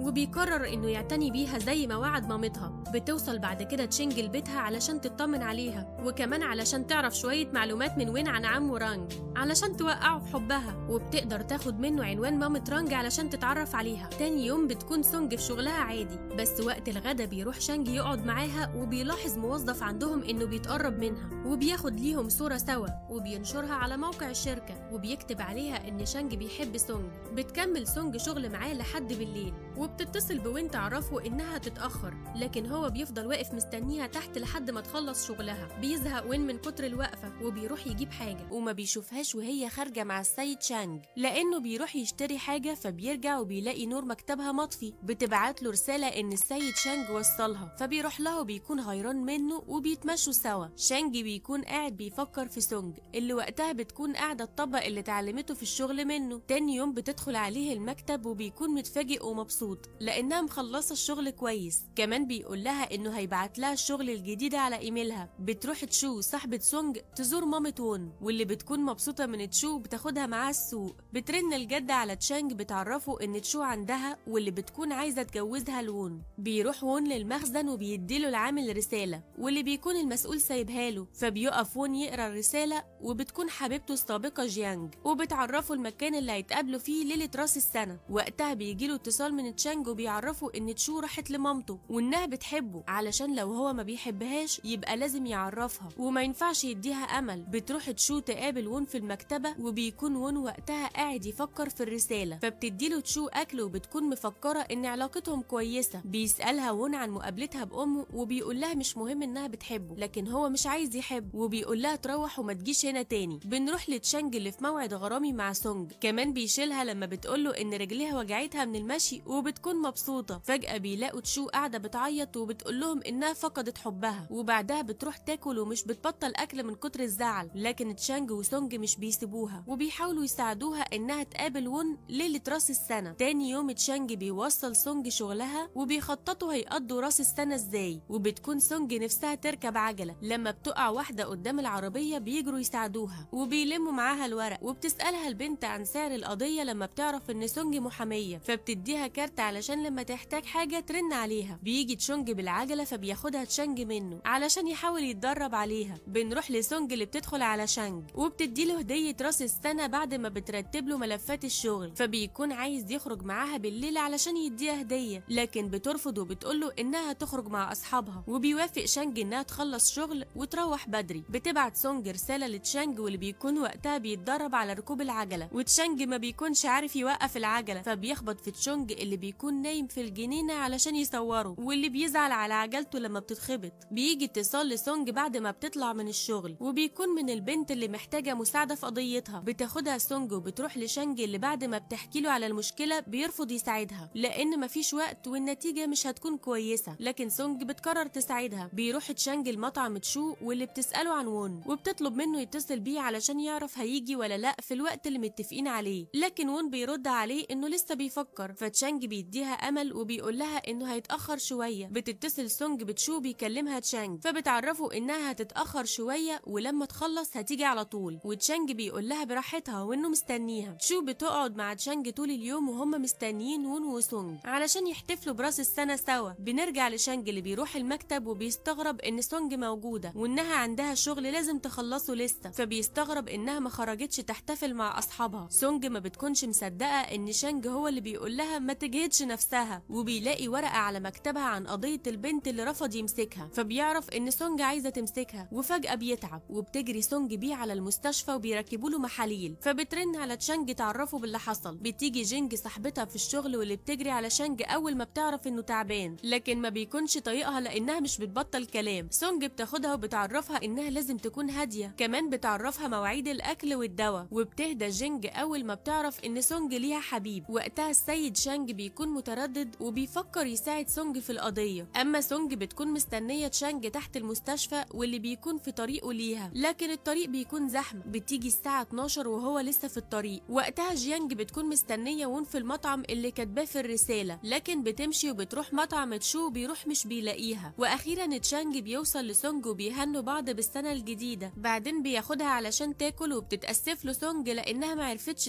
تكون معاه اليوم ده بسبب شغلها. بنرجع لجيانج اللي بتطلب أكل وبتقعد معاها تشو وبيتكلموا سوا. فبياخدوا على بعض وبيعرفوا إنهم دخلوا نفس المطعم اللي في أستراليا. حتى كلوا نفس الأكل لكن هما أول مرة يشوفوا بعض في مطعم تشو بتسيب فلوس لتشو وبتطلع لما بتسمع إن وون بيفتح مكتبه. وبتطلع تشو وراها واللي بتكون مصدومة لما بتشوفهم واقفين سوا. فبتعرف إن جيانج حبيبته السابقة. لكن وون بيقول لجيانج إنه بيحب واحدة وبعدين بيقفل المكتبة عليها. بنروح لتشانج وهو طالع من شقته وبيلاقي سونج سايباله فطار على الباب علشان تسيبه نايم براحته فبيتصل بيها وبيتفقوا يخرجوا بالليل سوا. ويروحوا السوبر ماركت. بتكون سونج قاعدة في مطعم مستنية البنت صاحبة القضية. لما بتوصل بتتأسف لها على التأخير وبتقول لها إنها خايفة إن القضية ما تنجحش. علشان كده بتكون خايفة توكل محامي لأنها ممكن تخسر الفلوس والقضية ما تنجحش. بيدخل عليهم السيد شانج فجأة وبتفرح سونج إنه هيساعدها في القضية. بعدها بيطلب من البنت تجمع كل اللي تعرفهم وعندهم نفس مشكلتها علشان يقدر يساعدهم ويجمع أكبر كم من المعلومات بخصوص القضية. أم وون وبابا بيروحوا له المكتبة ولما بيلاقوها مقفولة بيروحوا لتشو مطعمها علشان مامته تعرف باباه على تشو واللي بيكون مبسوط منها. وقت ما بيكونوا بيتكلموا عن وون بيوصل وون وبيسمعهم فبيروح لهم. لكن بيكون هو وأبوه زعلانين من بعض لأن وون مش عايز يتجوز. فبيتعصب وون لما أبوه بيسأله عن حبيبته القديمة ولو لسه بيفكر فيها. وبيقف أبوه علشان يضربه لكن تشو بتقف قدامه. كمان بتقول له إنه بيحبها فأبوه بيهدى ويقعد. بنروح لسونج اللي بتكون مستغربة إزاي السيد شانج عرف مكانها. فبيقول لها إنه عرف من الحالة اللي هي منزلاها وبيكون عايز يعرف ليه هي ما تخلتش عن القضية. فبتعرفه وجهة نظرها وإنهم شباب وليهم مستقبل ومش عايزة حياتهم تتدمر. بيقتنع شانج برأيها. أما وون بيكون قاعد قدام مكتبته وبتطلع تشو تديله مشروب وبتقعد جنبه. وبتقول له ما يحطش اللي حصل الصبح في دماغه. بنشوف تشانج وهو مستني سونج بس الدنيا بتشتي فبيجري يشتري شمسية. وأول ما بتنزل من الأتوبيس بيحط الشمسية عليها. بعدها بيروحوا السوبر ماركت سوا وبيوصلها للبيت. وبتكون مبسوطة إن دايما تشانج بيدعمها. بيروح تشانج يوصل سونج البيت بعدين بيروح المستشفى. وبتكون ليلة صعبة عليه وعلى الفريق الطبي من كتر الشغل. بعد ما تشانج بيطلع من العملية تعبان وساند على الحيطة تشونج بيصوره وهو مش واخد باله. وبيبعت الصورة لسونج وبيقول لها حبيبك بقى عجوز. لما تشونج بيروح ياخده علشان في حالة طوارئ تشونج بيحاول يخفي تليفونه لكن تشانج بيلاحظ وبياخده منه وبيشوف اللي بعته لسونج بتروح سونج في النوم وهي ماسكة الورق وتشانج بيتصل بيها فيديو وهو في المستشفى فبتلاقي إيده ورمه من كتر العمليات. تاني يوم بتجهز سونج ورقها واللي بتكون مستعجلة دايما. ولما بتخرج بتلاقي تشانج واقف قدام الشقة تعبان جدا فبتديله نعناع لما بتعرف إنه ماكلش وسكره نازل. بعدين بتدخله الشقة وبتروح تجيب الترمومتر. لما بتطلع بتلاقيه نايم وبيصحى لما بيلاقيها بتغطيه فبتقيس له حرارته وبتلاقيه سخن وما بيكونش عايزها تروح الشغل لكن بيقول لها تروح وهو هينام. بتديله سونج كريم علشان إيده حمرا وبتقول له إنها هتاخد أجازة بكرة وهتعمل له شوربة فراخ وبتودعه وبتمشي. في طريقها للشغل بتتصل على وون علشان يروح ياخد باله من تشانج. ولما تشو بتشوفه ماشي بتفكر إنه رايح لجيانج لكن بيعرفها إنه رايح لتشانج لأنه تعبان.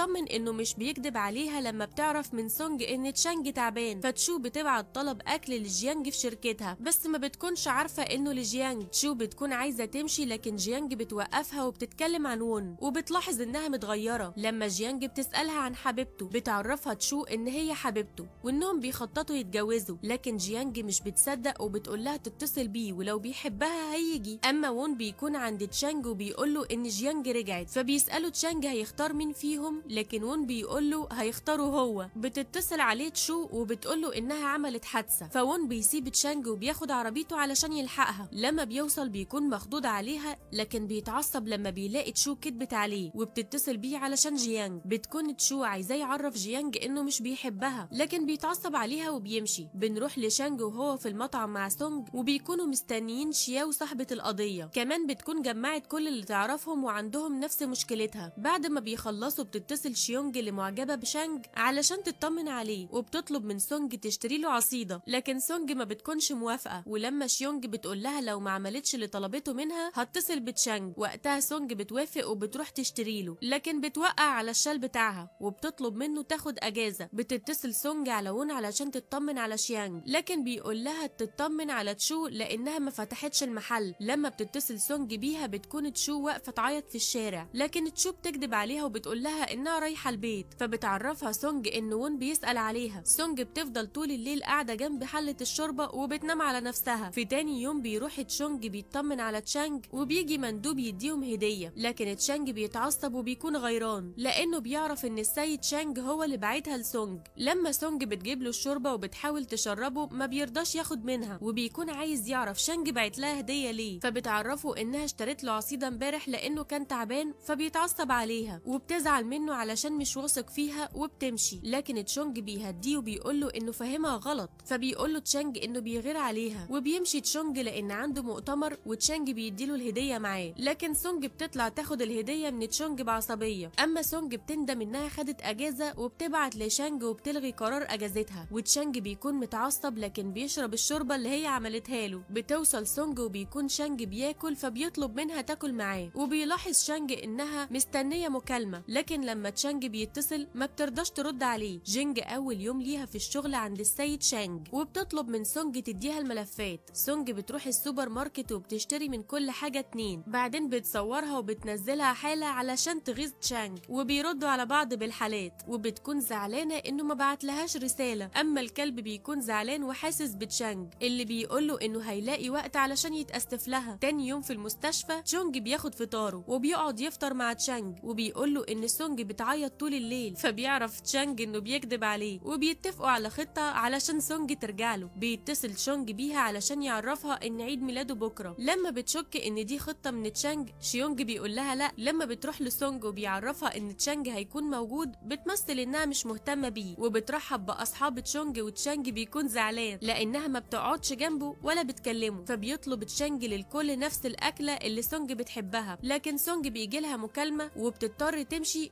وبتسيب فيزتها لتشونج لأن الأكل هيكون على حسابها. لما تشانج بيرجع متعصب بيخبط على سونج لكن مش بيلاقيها. فبيعرف من تشونج إنها عند تشو وهتنام معاها في الفندق. فبيتصل بتشو علشان يكلم سونج اللي ما بتكونش راضية تكلمه. ولما بترد عليه ما بيقولهاش حاجة مهمة. وإنها لما ترجع هيتكلموا. الكلب بيديه توكة سونج فبيربطها في شعر الكلب وبيصوره علشان ينزل حالة. لما بتحكي سونج لتشو على اللي حصل بتقول لها إنه غيران عليها وعايزها تكون معاه دايما.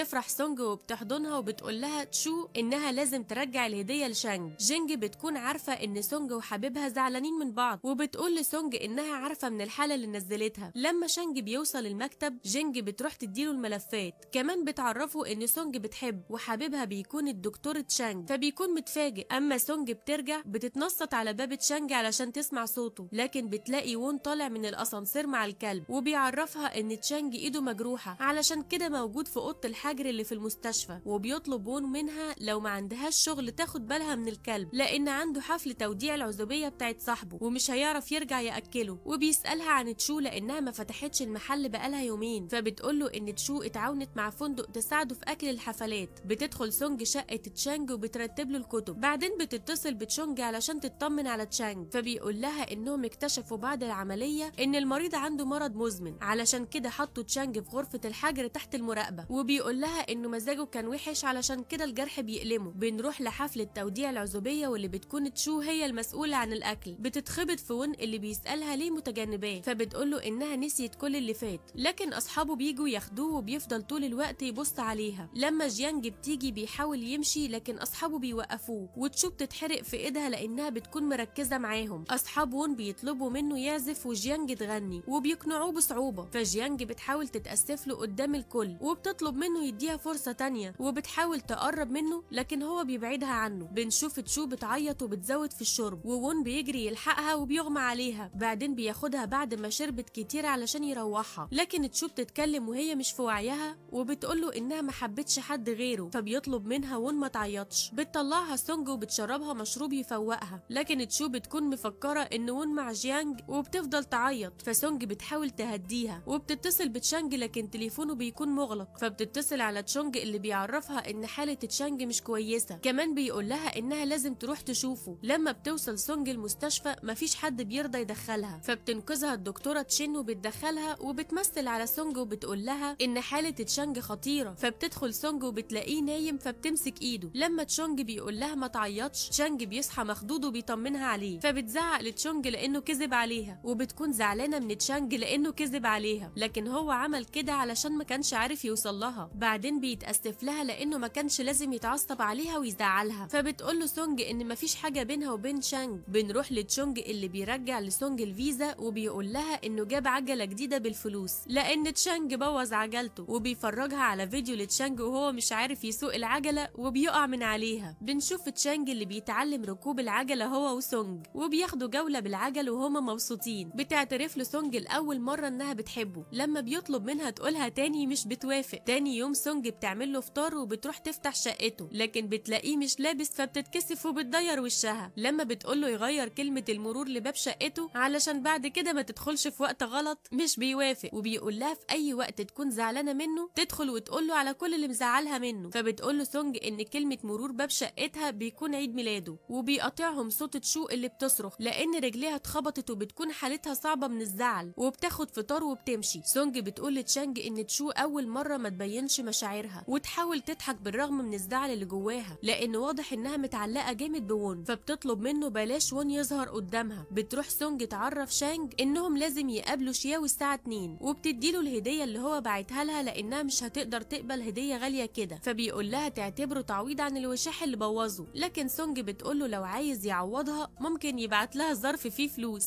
وبيوافق لما شانج بيقابل شياو مع سونج بيعرفها انهم هيسألوها في المحكمة شوية أسئلة وبتكون قلقانة فبتطلب من سونج تكون حاضرة وقتها. بيشجعها شانج بإن لازم يكون عندها إصرار وشجاعة. لما بتطلب منه سونج تروح المحكمة بيوافق. كمان بيرشحها في الاجتماع تكون مسؤولة عن قضية القروض عبر الإنترنت في المحكمة. وبيوافق أعضاء الاجتماع. بتشكره سونج وبتقوله إنها هتشتغل على نفسها أكتر. وقتها تشانج بيتصل بيها وهي واقفة مع شانج. فبتستأذنه وبتروح تكلمه بتعرفه إنها هتروح المحكمة وفرحانة جدا. بيجي شانج من وراها وبيشوفها بتضحك مع تشانج فبيزعل. بتتفق سونج مع تشانج يخرجوا ياكلوا وبيجي أصحابه. اللي لما بيعرفوا بيقولوا يخرجوا كلهم سوا. فبيطلع شانج على السطح وبيفكر في سونج. وبيسأل نفسه يستسلم ولا يفضل مصر بعد ما عرف إنها بتحب تشانج. بنرجع لتشانج اللي بيحجز مطعم وبيسبقوا تشونج وأصحابه على المطعم. وفي طريقهم للمكان بيقابلوا أهل المريض اللي عندهم في المستشفى. فبيتخانقوا معاهم لأن أبوه اتنقل للعناية العناية وحالته بقت صعبة ورغم كده رايحين ياكلوا وسايبينه. بالصدفة بيوصل تشانج وبيجري يهديهم. فبيقول له واحد من أهل المريض إن إيدين جرحت وعايز تعويض بالفلوس. كمان عايز تشونج وأصحابه يعتذروا. لكن تشانج بيرفض لما بيلاقي تشونج وأصحابه مجروحين. وبيقول لأهل المريض مفيش فلوس ولو عايزين يشتكوا يروحوا. الشرطة بتقبض عليهم وبتروح لهم سونج تنقذهم. وبتكون مخضوضة على تشانج لأن إيده مجروحة. ولما الشرطي بيعرف إنها محامية بيطلب يتكلم معاها على جنب. بعدين بتدفع لهم الغرامة وبيخرجوا. يروحوا بيت تشانج. لما بيوصلوا بتديهم سونج صندوق الإسعافات الأولية علشان الجروح. تشانج بيجهز لهم الأكل وبتروح سونج تسأله ليه مش بيحكي لها إنه مضغوط. لكن بيقول لها إن وجودها معاه بيخفف الضغط. وبتفرح سونج لما بتلاقي تشانج مجهز لها أكلتها المفضلة. وبعدها بيقعد تشانج يعلم المتدربين أخلاقيات المهنة وبتصوره سونج وهو قاعد معاهم. بعدها سونج بتقعد تنظف الجرح لتشانج. وبيقعد تشانج يحكي لها قصة حياته وليه بقى دكتور وإيه اللي اتعلمه من جده. بنشوف جيانج وهي بتجري علشان تلحق وون بعد ما خرج من فرح صاحبه. وبتكون عايزة تعرفه على تجار كبار ويقدر يبيع كتابه في مكتبات كبيرة. بعدين بتقوله إن دي فرصة ما ينفعش يفوتها. لكن وون بيقول لها إنه مش موافق فبتفكر إنه بيعملها كده بسبب تشو وبيمشي وبيسيبها. بيروح وون يفتح فيديوهات تشو وبيتفرج عليها. لما بيروح لها الفندق بيلاقيها مش مهتمة بيه وبتلعب مع الأطفال وبيفكر إنها مبسوطة. لكن تشو بتقعد تعيط وبتفتكر ذكرياتها الحلوة معاه. بنرجع لسونج اللي بتوصل لتشانج الصبح لشغله بالعربية. فبيقول لها إنه شعور حلو وبيتمنى لو كل يوم كده. بتطمن سونج على الجرح اللي في إيده وبتقول له ما يتعبش نفسه. بيدخل تشانج المستشفى وبيلاقي الإذاعة بتتكلم عن اللي حصل معاه فبيعرفوا تشونج إن أهل المريض اللي تواصلوا مع الإذاعة. لما بيروح تشانج للمدير بيزعق له بيقول له لو إيده اتكسرت كان هيأثر على حياته المهنية في المست... وبيوقفوا تشانج عن العمل لشهر. وأصحابه بيزعلوا لأنه اتعاقب لوحده. وقبل ما بيمشي تشانج بيكتب لهم نقط مهمة عن كل حاجة لازم ياخدوا بالهم منها. بترجع سونج بدري لما بتعرف إن تشانج موقوف عن العمل وبتكون زعلانة علشانه لكن بيقول لها إنه مش زعلان. كمان ممكن يعتبروها أجازة وعايز يقضيها معاها أما تشو بتلم حاجتها علشان تمشي وبتبص على مكان وون اللي كان بيغني فيه وبتتخيله بيغني وبتعيط. وقتها وون بيكون بيجري وبيقعد يرتاح وبيفكر في تشو. لما بيروح علشان يشوفها بتكون ركبت تاكسي وراه وبتمشي. سونج بتبعت لتشو رسالة بتطمن عليها. تشو بتقول لها إنها خلصت شغلها وراجعة البيت. وبتتقابل تشو مع أبوها وبيطلب منها ترجع البيت. لكن بتقوله إنها عايزة تعتمد على نفسها وتفتح محل مستقل بيها. لكن أبوها بيكون شايف إن ده صعب لكن بيعرفها إنه بيدعمها هو ومامتها. بنشوف تشانج وهو بيصحى من النوم وبيحضر لسونج فطار وبيكون مجهز لها غداها وعشاها في شنطة. فبتفرح سونج من اهتمامه بيها بعدين بيوصلها لشغلها. أما وون فبيمشي وهو بيفكر في تشو طول الوقت. بيرد عليه الشخص واللي بتكون جيانج معرفاه على وون وبيقول له إنهم حددوا مكان لجلسة القراءة بتاعته. فوون بيقول إنه هيحدد وقت ويرد عليه. بيروح وون يرجع الجيتار اللي جيانج كانت جايباه هدية وبيقفل الموضوع معاها وبيعرفها إن مشاعره تجاهها ملهاش أي معنى فبتحاول جيانج ترجع اللي كان بينهم لكن وون بيقول لها إن اختيارهم لبعض كان غلط من الأول بعدين بيروح يشتري هدية لتشو وبيتمنى إنها تعجبها وقتها سونج بتتفرج على فيديوهات للمحكمة وبتروح توصل الملف لشانج لكن بيعدل لها بعض النقط وبيقول لها ترتاح كويس قبل المحكمة بعد ما تشو بتلم حاجتها اللي في المحل بتبص على باب وون وبتفتكر ذكرياته معاها وهي خارجة بيكون وون وقتها جاي يديها الهدية فبيتفاجئ إنها عارضة المحل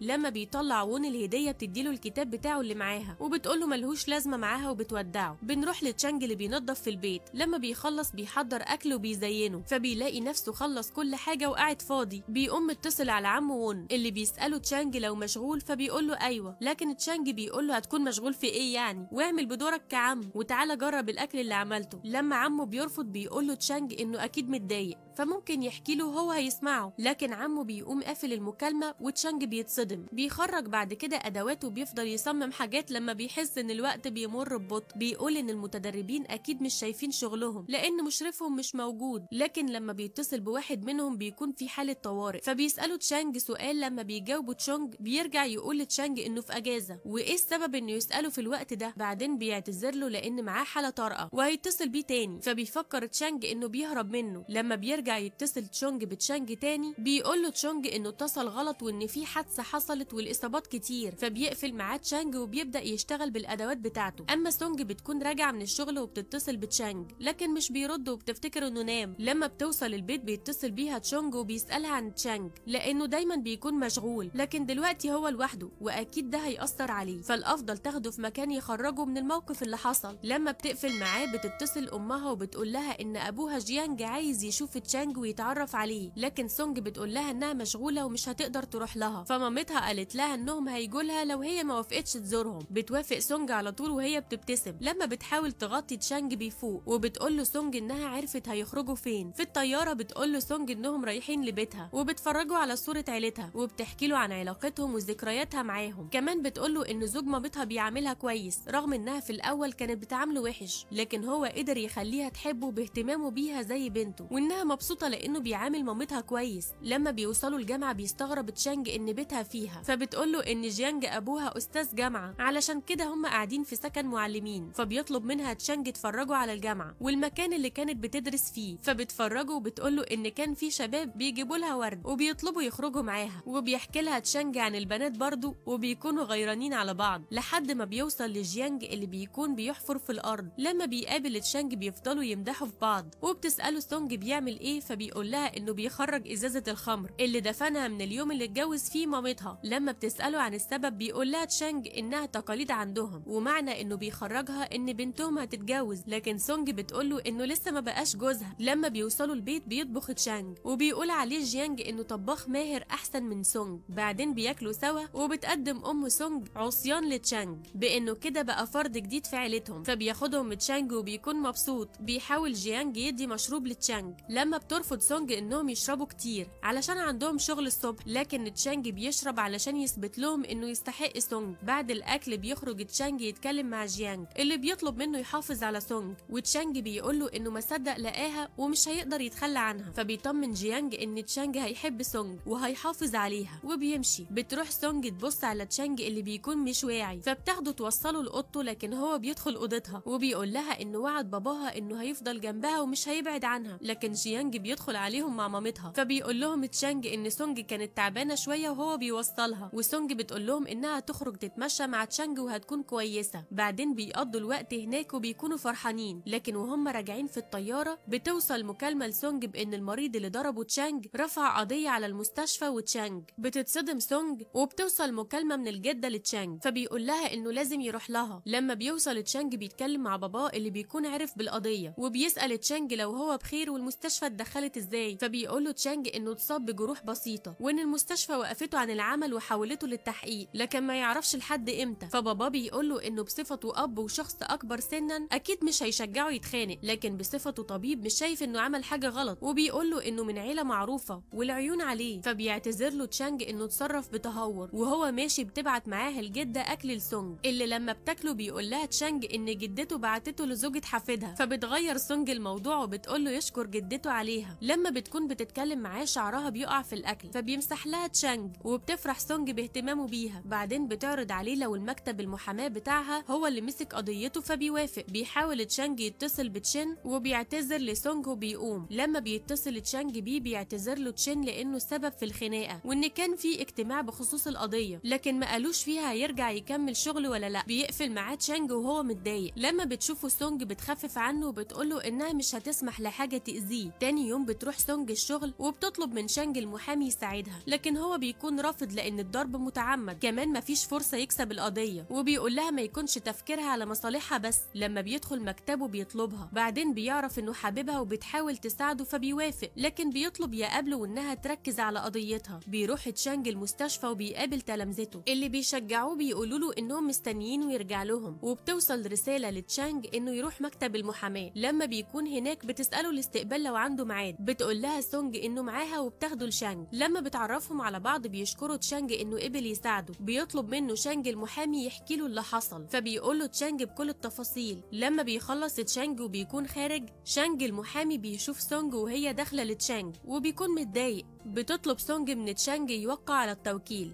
لكن مش بيكون مكتوب السعر. لما بيسألها تشانج بتقوله علشان لو زعلها تكتب رقم وتخليه يخسر كل حاجة. فبيقول لها تشانج إن لو القضية خسرت وما بقاش طبيب تاني هل ممكن تفضل معاه؟ سونج بتقوله إنها اتعودت تحافظ على الناس اللي بتحبهم وإنه هيرجع لشغله تاني وهي هتفضل جنبه. لما بيحاول يقرب منها بيوصل مكالمة لكل شخص فيهم. بنروح لتشانج وهو قاعد مع وون اللي بيقوله لو بيحب تشو يعترف لها وإنه ما حاولش يتغير علشان حبه القديم ولا الجديد. بعدين بينزل وون من عنده بتكون سونج راجعة مع تشو وبتودعها. لكن تشو بتشوف وون وهي ماشية بتروح له تنادي عليه وبيكون حد سرق عجلته فبتطلب منه توصله وبيركب معاها. لما بيفتكر وون كلام تشانج بإنه لازم يبدأ فبيحاول يعترف لتشو لكن هي بتقاطعه وبتقوله إن حصل سوء تفاهم مع حبيبته السابقة فممكن يعتذر لها نيابة عنها. بيتضايق وون وبيطلب منها توقف العربية وبينزل. بيكون متضايق لإنه مش قادر يعترف لها. لما بيرجع مكتبته بيفضل يبص يبص على اللعبة اللي كان هيقدمها لتشو لكن بيجي شخص وبيتخانق وون معاه واللي هيشتري مطعم تشو وعايز يقفل الباب. كمان وقع المكتبة الصغيرة وكسر اللعبة فبيخاف الشخص ده وبيمشي وبيفضل وون زعلان على اللعبة. أما تشو بتكون متضايقة وبتمسح رقم وون لكن مش بتقدر وبيتصل بيها اللي هيأجر المكان وبيقول لها إن في راجل غريب بيمنعهم من الشغل. كمان اتخانق معاه فتيجي تشوفه. لما بتوصل تشو بتلاقي ون مصاب فبتطلب منه تاخده المستشفى لكن هو بيقول لها ملهاش لازمة لأن مفيش حد قلقان عليه وبيطلب منها تنفصل عن حبيبها لأنه سمح لها تخرج لوحدها بالليل ولما بيدخلوا بيسألها لو حبيبها بيعاملها كويس فبتقول له أيوة وإنها بتهتم بيه علشان كده ما طلبتش منه يوصلها. بعدين بتروح تجيب علاج لجروح وون وبتديله يعالج نفسه وبتقول له لو الراجل عايز يسد الباب مفيش مشكلة وبتمشي وتسيبه. فبيزعل وون إن الباب مش بيفكرها بيه. بنروح لسونج وهي قاعدة مع أهل المريض علشان قضية تشانج واللي بيطالبوا بمبلغ كبير وهما ماشيين الراجل بيوقع سونج وبتقع على ايدها. لما بياخدها زمايلها المستشفى بيتصلوا بتشانج يعرفوه. بيوصل تشانج على طول وبتقول له سونج إنها وقعت عليها. لكن صاحبتها بتعرفه باللي حصل وبيشوف تشانج الأشعة وبيقول إنها محتاجة جبس فبياخدها العيادة علشان يجبسها لها هو. لكن سونج بتكون مش واثقة فيه لأنه مش دكتور عظام. لما بيخلص تشانج بيقول له ابن خالتها إن سونج من وقت ما اتعرفت عليه وهي على طول مصابة وإنه لو عنده حبيبة كان هيحافظ عليها أكتر من كده فبيزعل تشانج لأن تشين كلامه صح. لكن سونج بتقوله إنه ملهوش علاقة بإصابتها فبيعتذر تشانج لأنه ما قدرش يحميها وبيط... وبيطلب منها ما تكملش القضية. لكن سونج بتكون مصممة فبيشكرها تشانج. لما بيرجعوا البيت بيجهز تشانج الأكل لسونج. لكن تشونج بيخلص على الأكل. وبيقول له تشانج إنه عنده مذاكرة ولازم يراجع دلوقتي. بتكون سونج مش عايزة تشونج يمشي لأن تشانج هيفضل جنبها ومش هيسيبها. لكن تشونج بيكون خايف من تشانج وبيمشي. سونج بتحاول تقول لتشانج إنها مش هتحتاجه. كمان هتقدر تعتني بنفسها بس مش بتقدر تاكل لوحدها وبتستسلم إنه يساعدها لما بتكون في الحمام بتحاول تجفف شعرها وتربط اللبس لكن مش بتقدر تنفذ حاجة منهم. وتشانج بيكون مستنيها بره. لما بتخرج وبيشوفها تشانج بيساعدها تربط لبسها. بتسيبه سونج بعد ما بيخلص وبتدخل تجفف شعرها فبيساعدها تشانج لما بيلاقيها مش عارفة. بتسأله سونج هينام فين؟ تشانج بيقول لها في الصالة. فبتقول له ممكن ينام في أوضة الضيوف لكن تشانج بيقول لها إنه مش هيكون قريب منها ويقدر يسمعها. بتخرجه سونج علشان تنام لكن بتصحى بالليل من الألم ومش بتكون قادرة توصل للدواء. بيسمعها تشانج وبيطلب منها يدخل وبتسمح له. لما بيبص على الجبس مش بيكون فيه مشكلة لكن هي بتتألم من الكسر. بيديها مسكن وبيروح يجيب لها مية. لما بتخرج وراه وبتشوف طريقته وهو بيدفي المية بتفتكر باباها وبتقول لتشانج إن طريقته قديمة لأن باباها كان بيدفي المية ليها كده فبيقول لها تشانج إنها لازم تختار الشخص اللي يعملها زي باباها. سونج بتقول له إنه في صفات كتير من باباها بعدين بتاخد الدواء وبترجع أوضتها. بيكون تشانج جنبها وبتشوف سونج حروق على صوابعه فبتسأله سونج عن سببها وبيقول لها تشانج إنه كان متوتر لما عرف إنها اتأذت علشان كده اتحرق وهو بيجهز الجبس. كمان لما اتصابت في راسها المرة اللي فاتت كان متوتر بنفس الطريقة واكتشف إنه بيكون جبان لما بتكون جنبه لأنه بيخاف عليها وبيتمنى تفضل جنبه بدون ما تتأذي. تاني يوم بتروح لها تشو اللي بتسأل سونج مين اللي ربط لها لبسها وإنه أكيد تشانج لأن الرابطة واضح إنها رابطة جراح. وبتسأل سونج لو قربوا من بعض لكن لما سونج بتوضح إنه ما حصلش بينهم حاجة بتكون تشو مش مصدقاها. لما تشو بتشوف سونج غيرت ونازلة الشغل بتقول لها إنها لسه بتتألم فبتاخد أجازة لكن سونج مش بتكون خلصت القضية بتاعتها وإن ميعادها قرب فلازم تكمل شغلها. بتطلب سونج من تشو تفك الرابطة لأنها مش قادرة تتحرك بيها. لما بتفكها تشو بيلاقوا تشانج كاتب عليها ومش بتكون سونج عارفة كتبه إمتى. أما تشانج بتكون المستشفى طلبته علشان يساعدهم في تشخيص حالة وهو خارج بيقابل اللي رافعين عليه قضية فبيطلب يتكلم معاهم. بعدين بيوريهم أشعة سونج واللي تسببوا بيها وبيقول لهم إنه مش هيرفع قضية. هو عايزهم بس ما يأذوش سونج لأنهم متضايقين منه. بنروح لسونج اللي بتقول لشانج إنها وقعت من على السلم لكن شانج مش بيصدقها وبيقول لها تركز في قضيتها وإنها تسلم قضية تشانج لجينج صاحبتها. بتحاول سونج ترفض لكن شانج بيكون مصمم. فبتخرج تقول لصاحبتها على القرار وبتفرح لكن سونج بتطلب منها تعرفها بكل جديد في القضية. أما وون بيكون في النادي وبيلاقي تشو ما بعتتش رسايل فبيسمع واحد وهو معدي بيقول معلش اتبعتت غلط. بيكون وون ماسك التليفون وبيقول عادي بتحصل. وبيبعت رسالة لتشو وبيمسحها. بعدين بيقول لها انها اتبعتت غلط لكنها بتبعت تمام فبيبعت لها رسالة لو فطرت لكن مش بترد عليه. لما بيحاول يتدرب بيتشتت ومش بيكمل فبيروح يفتح تليفونه وبيشوف منشور لتشو بإنها هتتجوز ومنزلة الصورة ليها مع شخص. فطبعا وون بيتضايق وبيتصل على تشانج اللي بيأكد له الخبر بإن تشو هتتجوز وبيقول له كمان إن الشخص اللي هتتجوزه مناسب. بيرجع وون لبيته وهو متضايق لكن بيلاقي الراجل بيبني السور فبيوقفه بيعنده علشان يرفض ياخد المكان من تشو. طبعا الراجل بيطلب تشو ولما بتحضر بيقول لها إنه ما كانش يعرف بوجود جار مجنون للمكان وبيفضل وون يعمل حركات مجنونة فالراجل بيخاف وبيقرر يلغي العقد. لما تشو بتقول له إنه بدأ في التجهيز ودفع الفلوس وإنها مش هتقدر ترجعها بيقول لها وون إنه هيدفع لها ضعف المبلغ. فبتاخده تشو وبتسأله ليه كل شوية بيخليها تيجي هنا؟ بيقول لها وون لإنه بيحب يشوفها. لما بيقول لها وون إزاي حبته في لحظة ونسيته في لحظة كمان أخدت قرار جواز بسرعة لإنه شاف منشورها. فبتقول له إن الصورة كانت فوتوشوب وإنها بتندم إنها حبته قبل كده وبتمشي لكن وون بيوقفها وبيطلب منها تكون معاه وبيعترف لها بحبه. بعدين بيفتكروا ذكرياتهم سوا وبيرجعوا المكان تاني. بنرجع لسونج اللي بيقول لها تشانج إنها تخرج تاكل. لكن سونج بتقول له إنها أكلت فبطنها بتعمل صوت وبتنكشف. لما بتخرج تاكل بيتكلموا سوا وبيقول لها تشانج إنه بيحبها. فبتقوم سونج وبتطلب منه يدخل شبكة النت. لما سونج بتشوف اسم الشبكة بتترجمها بتكون إن سونج حبيبته وزوجته. ولما بتترجم رقم الشبكة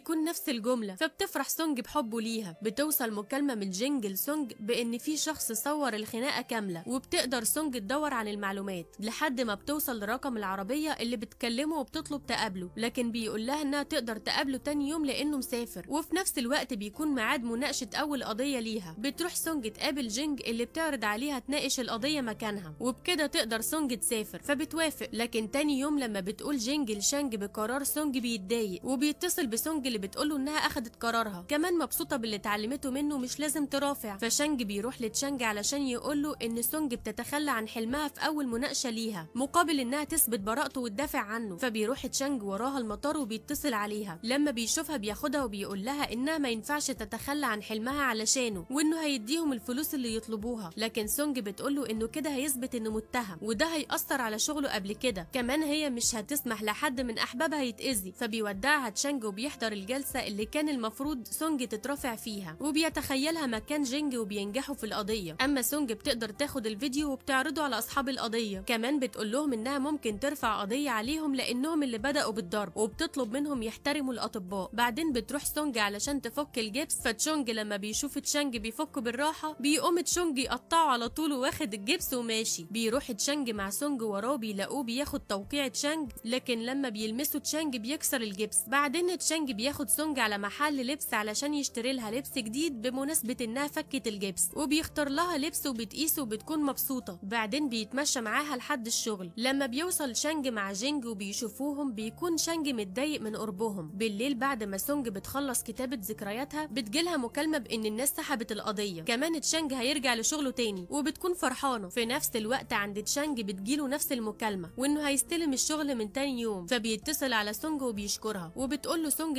انهم يعزموا أصحابهم. تاني يوم بيخرجوا مع تشو وتشونج. لما تشونج بيقول لتشو إنهم هيكونوا مع بعض بتقوله إنها منتظرة شخص وبيوصل وون. فتشونج بيقول له إنهم يمشوا سوا. لكن وون بيقف جنب تشو بيقول له إنه هيكون معاها. وبيخرجوا الخمسة سوا. لكن تشانج بيتكلم مع سونج وتشو بتتكلم مع وون. وبيعاملوا تشونج كأنه مش موجود. فبيطلب دبدوب وبيقعدوا جنبه. بيقوم وون وتشانج علشان يجيبوا أكل. ولما بيرجعوا مش بيجيب وون لتشو حاجة. فبتزعل منه لأنه كان المفروض يعرف هي بتحب إيه ويجيبه بعدين بتقوم تجيب لنفسها وبتقول له يعرف هي بتحب إيه علشان يتعلم يجيبه لها بعد كده. فبيطلب منها المكونات ولما بتحاول تشرب بيوقفها وبيقول لها تشرب شاي أفضل. فتشو بتكون متضايقة منه. لما بيخرجوا بتدي تشو لوون المكونات وبتوري له قايمة باللي البنت بتحبه لأنه عمره مش زي عمرها. فبيستغرب وون من الطلبات وبتتضايق تشو وبتمشي. فبيروح وراها وون وبيقدر يصالحها. بنروح لتشانج وهو ماشي مع سونج وبيقول لها انه تعرض لمشكلة في شغله. لكن هي قدرت تحميه بدون تردد. كمان يتمنى يفضلوا ماسكين في إيد بعضهم ويحموا أولادهم كده. لما بترجع سونج بتفتكر كلامه وبيبعتوا لبعض رسائل بتشوف سونج الساعة بتلاقي لسه بدري. فبتروح لتشانج البيت وبتقوله إنها عندها أرق. بياخدها تشانج يسمعها موسيقى وبيعمل لها تدليك لحد ما بتقدر تنام. تاني يوم سونج لما بتلاقي نفسها في أوضة تشانج بتقوم تجري. لكن بيشوفها تشانج وبيقول لها تغير وتفطر معاه. فلما بتفتح الباب بتلاقي تلاميذ تشانج بزعيمهم تشونج. واقفين عاملين مفاجأة وبيشوفوها. لما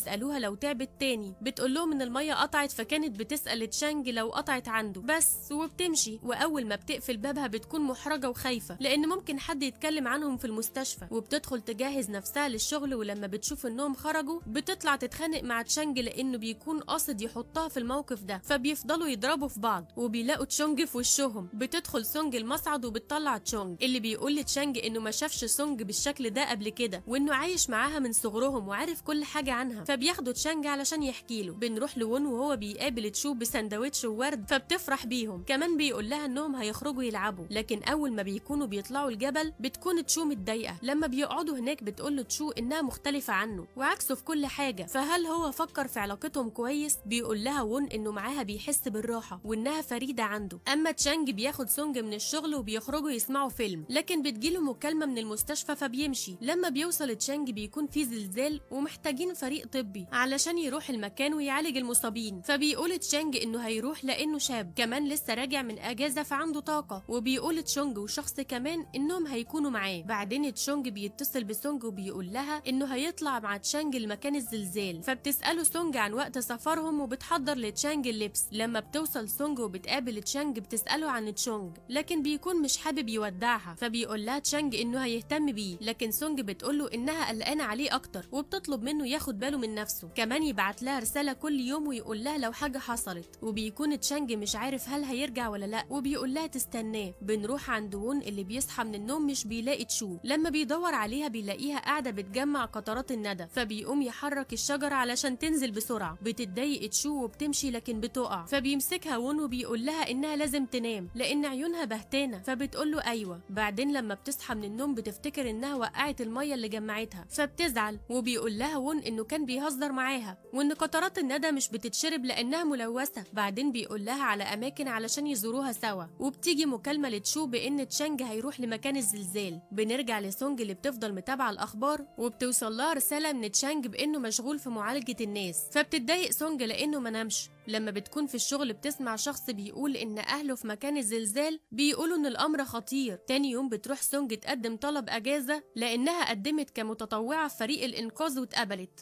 فبيزعل شانج وبيقول لها إنها مش بتهتم بحياتها. بتقول له سونج إنها حابة تكون قريبة من تشانج. بيوافق شانج على الأجازة وبيقول لها ترجع كويسة معاه. لما بتروح سونج تجهز شنطتها بتروح لها تشو علشان تساعدها. لكن لما بتصحى تاني يوم بتلاقي سونج مشيت. بتوصل سونج لمكان الزلزال وبتبدأ تساعد الناس. وتشانج بيكون في العملية وبيحصل زلزال لكن بيقدر يسيطر على العملية وبتنجح. لما بتوصل سونج لمكان القافلة بتاعة تشانج بتكون في الأتوبيس لكن مش بيشوفوا بعض. أول ما بتنزل بيحصل زلزال وبتطلب ست المساعدة فبتجري سونج معاها. بتقدر سونج تحدد مكان طفل ولما بتخرج تطلب المساعدة. بتقابل تشانج وبتفرح إنها شافته لكن بتقوله على الطفل وبيخرجوه وتشانج بيشخص الطفل بيكون سقف البيت هيقع فبتحاول سونج تحمي الطفل لكن تشانج بيحميها وبتقع عليه فبتقلق سونج. فتشانج بيقول لها لازم يخرجوا الطفل بسرعة. لما بيسلموا للإسعاف بيسأل سونج هتمشي إمتى؟ بتقول له إنها مش عارفة وبيسمعوا صوت حد بيطلب طبيب. فبيقول لها تستناه في نفس المكان بعد العملية. لو ما كانتش مشيت. لأن في كلام حابب يقوله لها. لما بيمشي بتوصل رسالة لسونج إنهم هيكملوا الليلة في المكان. بسبب مشكلة في الطريق بتفضل سونج صاحية منتظرة تشانج وبتلاقي الجو بيمطر تلج وبتقابل تشانج. بعدين بيدخلوا عربية وبيديها ثلاث رسايل لكن مش بيكون مكتوب حاجة عليهم. فبيخرج تشانج وبتكون الرسايل مكتوبة بحبر سري وبيعترف لها بحبه من مرحلة ابتدائي والجامعة لحد ما كبر وبيطلب منها الجواز. بعدين بيدخل العربية وبيقول لها إنه منتظر ردها وإنها تفكر براحتها. براحتها بتوصل رسالة لسونج إن الطريق اتصلح وهيتحركوا فبيودعوا بعض وبتمشي. بعد ما بينتهي الزلزال بيعملوا مؤتمر وبيشكروا فيه تشانج وفريقه. لما بيرجعوا بتكون سونج مستنياه وبيجي تشونج وبيديها هدية عبارة عن صورة لتشانج. لأنها ساعدته وما قالتش لمامته لما كان في مكان الزلزال. بتروح سونج تمشي مع تشانج اللي بيسألها لو الصورة أجمل منه لأنها بتبص لها كتير. لما بيحاول يقرب منها بيوصل ون ويقاطعهم علشان يرجع لتشانج كلبه. فبيرجعوا البيت لكن سونج بتقول لتشانج إنهم يدخلوا بيتها ويسيبوا ون يدخل بيت تشانج. بيلاقوا تشو عاملة لها مفاجأة وموجودة في البيت لأنها كانت بتهتم بيه في غياب سونج. فتشو لما بتشوفهم بتقوم خارجة وبترجع مع وون علشان يعرفوهم إنهم ماشيين. لما بينزلوا بتكون تشو فرحانة بعلاقة تشانج مع سونج. فبيقول لها وون إنهم شخص واحد واعترفوا لبعض بحبهم وإن تشو لسه ما اعترفتش بحبها. بتقول له تشو إنها اعترفت له قبل كده وبيجروا ورا بعض. بنرجع لسونج اللي بتاكل وتشانج بيبص عليها وبيطلب منها يقضوا بداية السنة مع أهله لأنهم راجعين من السفر وعايز يقدم لهم حبيبته. فبتتوتر سونج وبتسأله لو هي مناسبة وهل ممكن يتقبلوها؟ ولو هي جميلة فتشانج بيقول لها إنهم أكيد هيقبلوا حبيبته وإنها جميلة. بتتصل سونج بمامتها وبتقول لها إنها مش هتقضي بداية السنة معاها. فبتفرح مامتها وبتقول لها أكيد هتقضيها في بيت أهل تشانج. وبتسألها علاقتهم وصلت لإيه؟ وهل طلب منها الجواز؟ بنروح لليوم اللي هيقابلوا فيه أهل تشانج. بيخرجوا سوا وبيختاروا الورد اللي بيحبوه وهدايا. لما بيوصلوا للبيت بتكون سونج قلقانة فبيهديها تشانج وبيقول لها إن عيلته هيحبوها. بتقابلهم الجدة على الباب وبيقدمهم تشانج لبعض. فبتقدم سونج الورد لجدته وبتقول لها الجدة إنها مهتمة لأن الورد ده صعب تلاقيه وإنها تدور عليه علشان تجيبه لها. ده يثبت إنها بتهتم بيهم وبتطلب من تشانج يقدمها لجده. لكن الجد بيكون بيلعب مع تشو وون قاعد يتفرج عليهم. أول ما بتدخل سونج بتقوم تشو تقدمها وإنها صاحبتها. لما بتقعد سونج بيحاول تشانج يقدمها لكن جده بيقول له إنها محامية وهي اللي دفعت عنه. كمان ساعدته في إنقاذ المصابين وإن تشو هي اللي عرفته بكل معلوماتها. بعدين بيقدم لها هدية من أهل تشانج وبيكون عبارة عن كهرمان واللي بتحكي لهم سونج عن قصته. بيفرح الجد بيها لأنها مثقفة. بعدين بيتجمعوا سوا وبيجهزوا مخبوزات وهم مبسوطين. بيوصل لأهل تشانج بالليل وبيخرج تشانج يستقبلهم مع سونج اللي بيكونوا مبسوطين بسونج. لما بيكونوا على الأكل بيقول أهل تشانج إنهم مش هيسافروا تاني وهيرجعوا للمستشفى اللي فيها تشانج علشان يكملوا شغلهم. بيتصدم تشانج لأنهم هيتابعوه هناك. بتفضل العيلة تضحك على الأكل. بعد ما بيخلصوا بتخرج سونج تتفرج على النجوم. ومامة تشانج بتلبسها البلطو لكن سونج بتفكرها تشانج فبتتكلم على السما والنجوم. لما بتعرف إنها مامة تشانج بتتكلم معاها وبتفرح الأم بسونج وطريقة حبها لتشانج كمان بتكون عارفة بذكرياتهم سوا. بعدين بيتفرجوا على الألعاب النارية وتشانج بياخد سونج لأوضته علشان تتفرج أوضح. فبتقول له سونج إن عيلته حبوها وحبتهم وهو رائع. تاني يوم بتخرج سونج وبتلاقي كيس فبتاخده. وبيكون نفس القميص اللي وقع عليه زيت واللي بيكون تشانج زينه بوردة. لما بتنزل بيقول لها تشانج إنها وردة القرنفل وإنه حابب طفل منها. وبيقاطعهم صوت تشو اللي بتجري ورا ون وبيلعبوا سوا. بعدين بيتجمعوا علشان كل اتنين يقولوا كلام للأجداد. بمناسبة راس السنة فبيقول كل اتنين جملتهم لكن وون وتشو مش بيعرفوا يعبروا. فبيتحايلوا على الأجداد يدوهم الأظرف بعدين بيقعدوا مع بعض وبيقول لهم تشانج إنه قرر مع سونج إنهم بيخططوا يجيبوا طفل وبتكون سونج متوترة. وبيقول لهم تشانج إن سونج عايزة يتجوزوا الأول. بيبدأوا يحجزوا الفندق وترتيبات الجواز. لما بيروح تشانج المستشفى بيدعي زمايله. كمان بيدي لتشونج رسالته اللي بيفكر إنه سقط. لكن تشانج بيقول له يبص في آخر صفحة وإن تشونج كان من الطلاب المجتهدين عنده. فبيفرح تشونج وبيحضنه. بنروح ليوم الجواز وتشانج بيجهز نفسه. بعدين بيروح لسونج يتقدم لها وبيتصوروا وهم في القاعة سونج رجليها بتوجعها. فبيقعدها تشانج ترتاح وبيدلكها. بيجي المنظم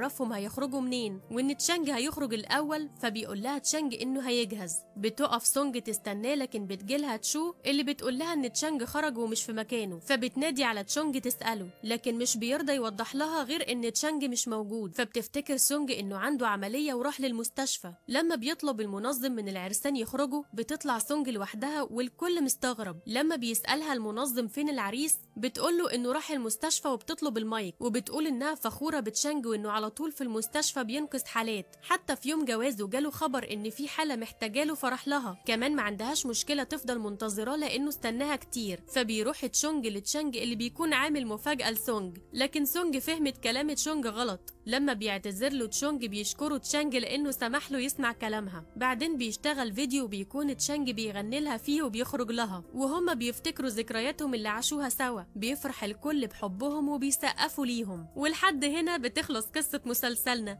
يا رب يكون عجبكم. تابعونا علشان تشوفوا ملخصاتنا اللي جاية. وما تنساش الإعجاب والاشتراك في القناة وتفعل الجرس. وتكتب لنا كومنت باسم المسلسل اللي حابب تشوف الملخص بتاعه. سلام!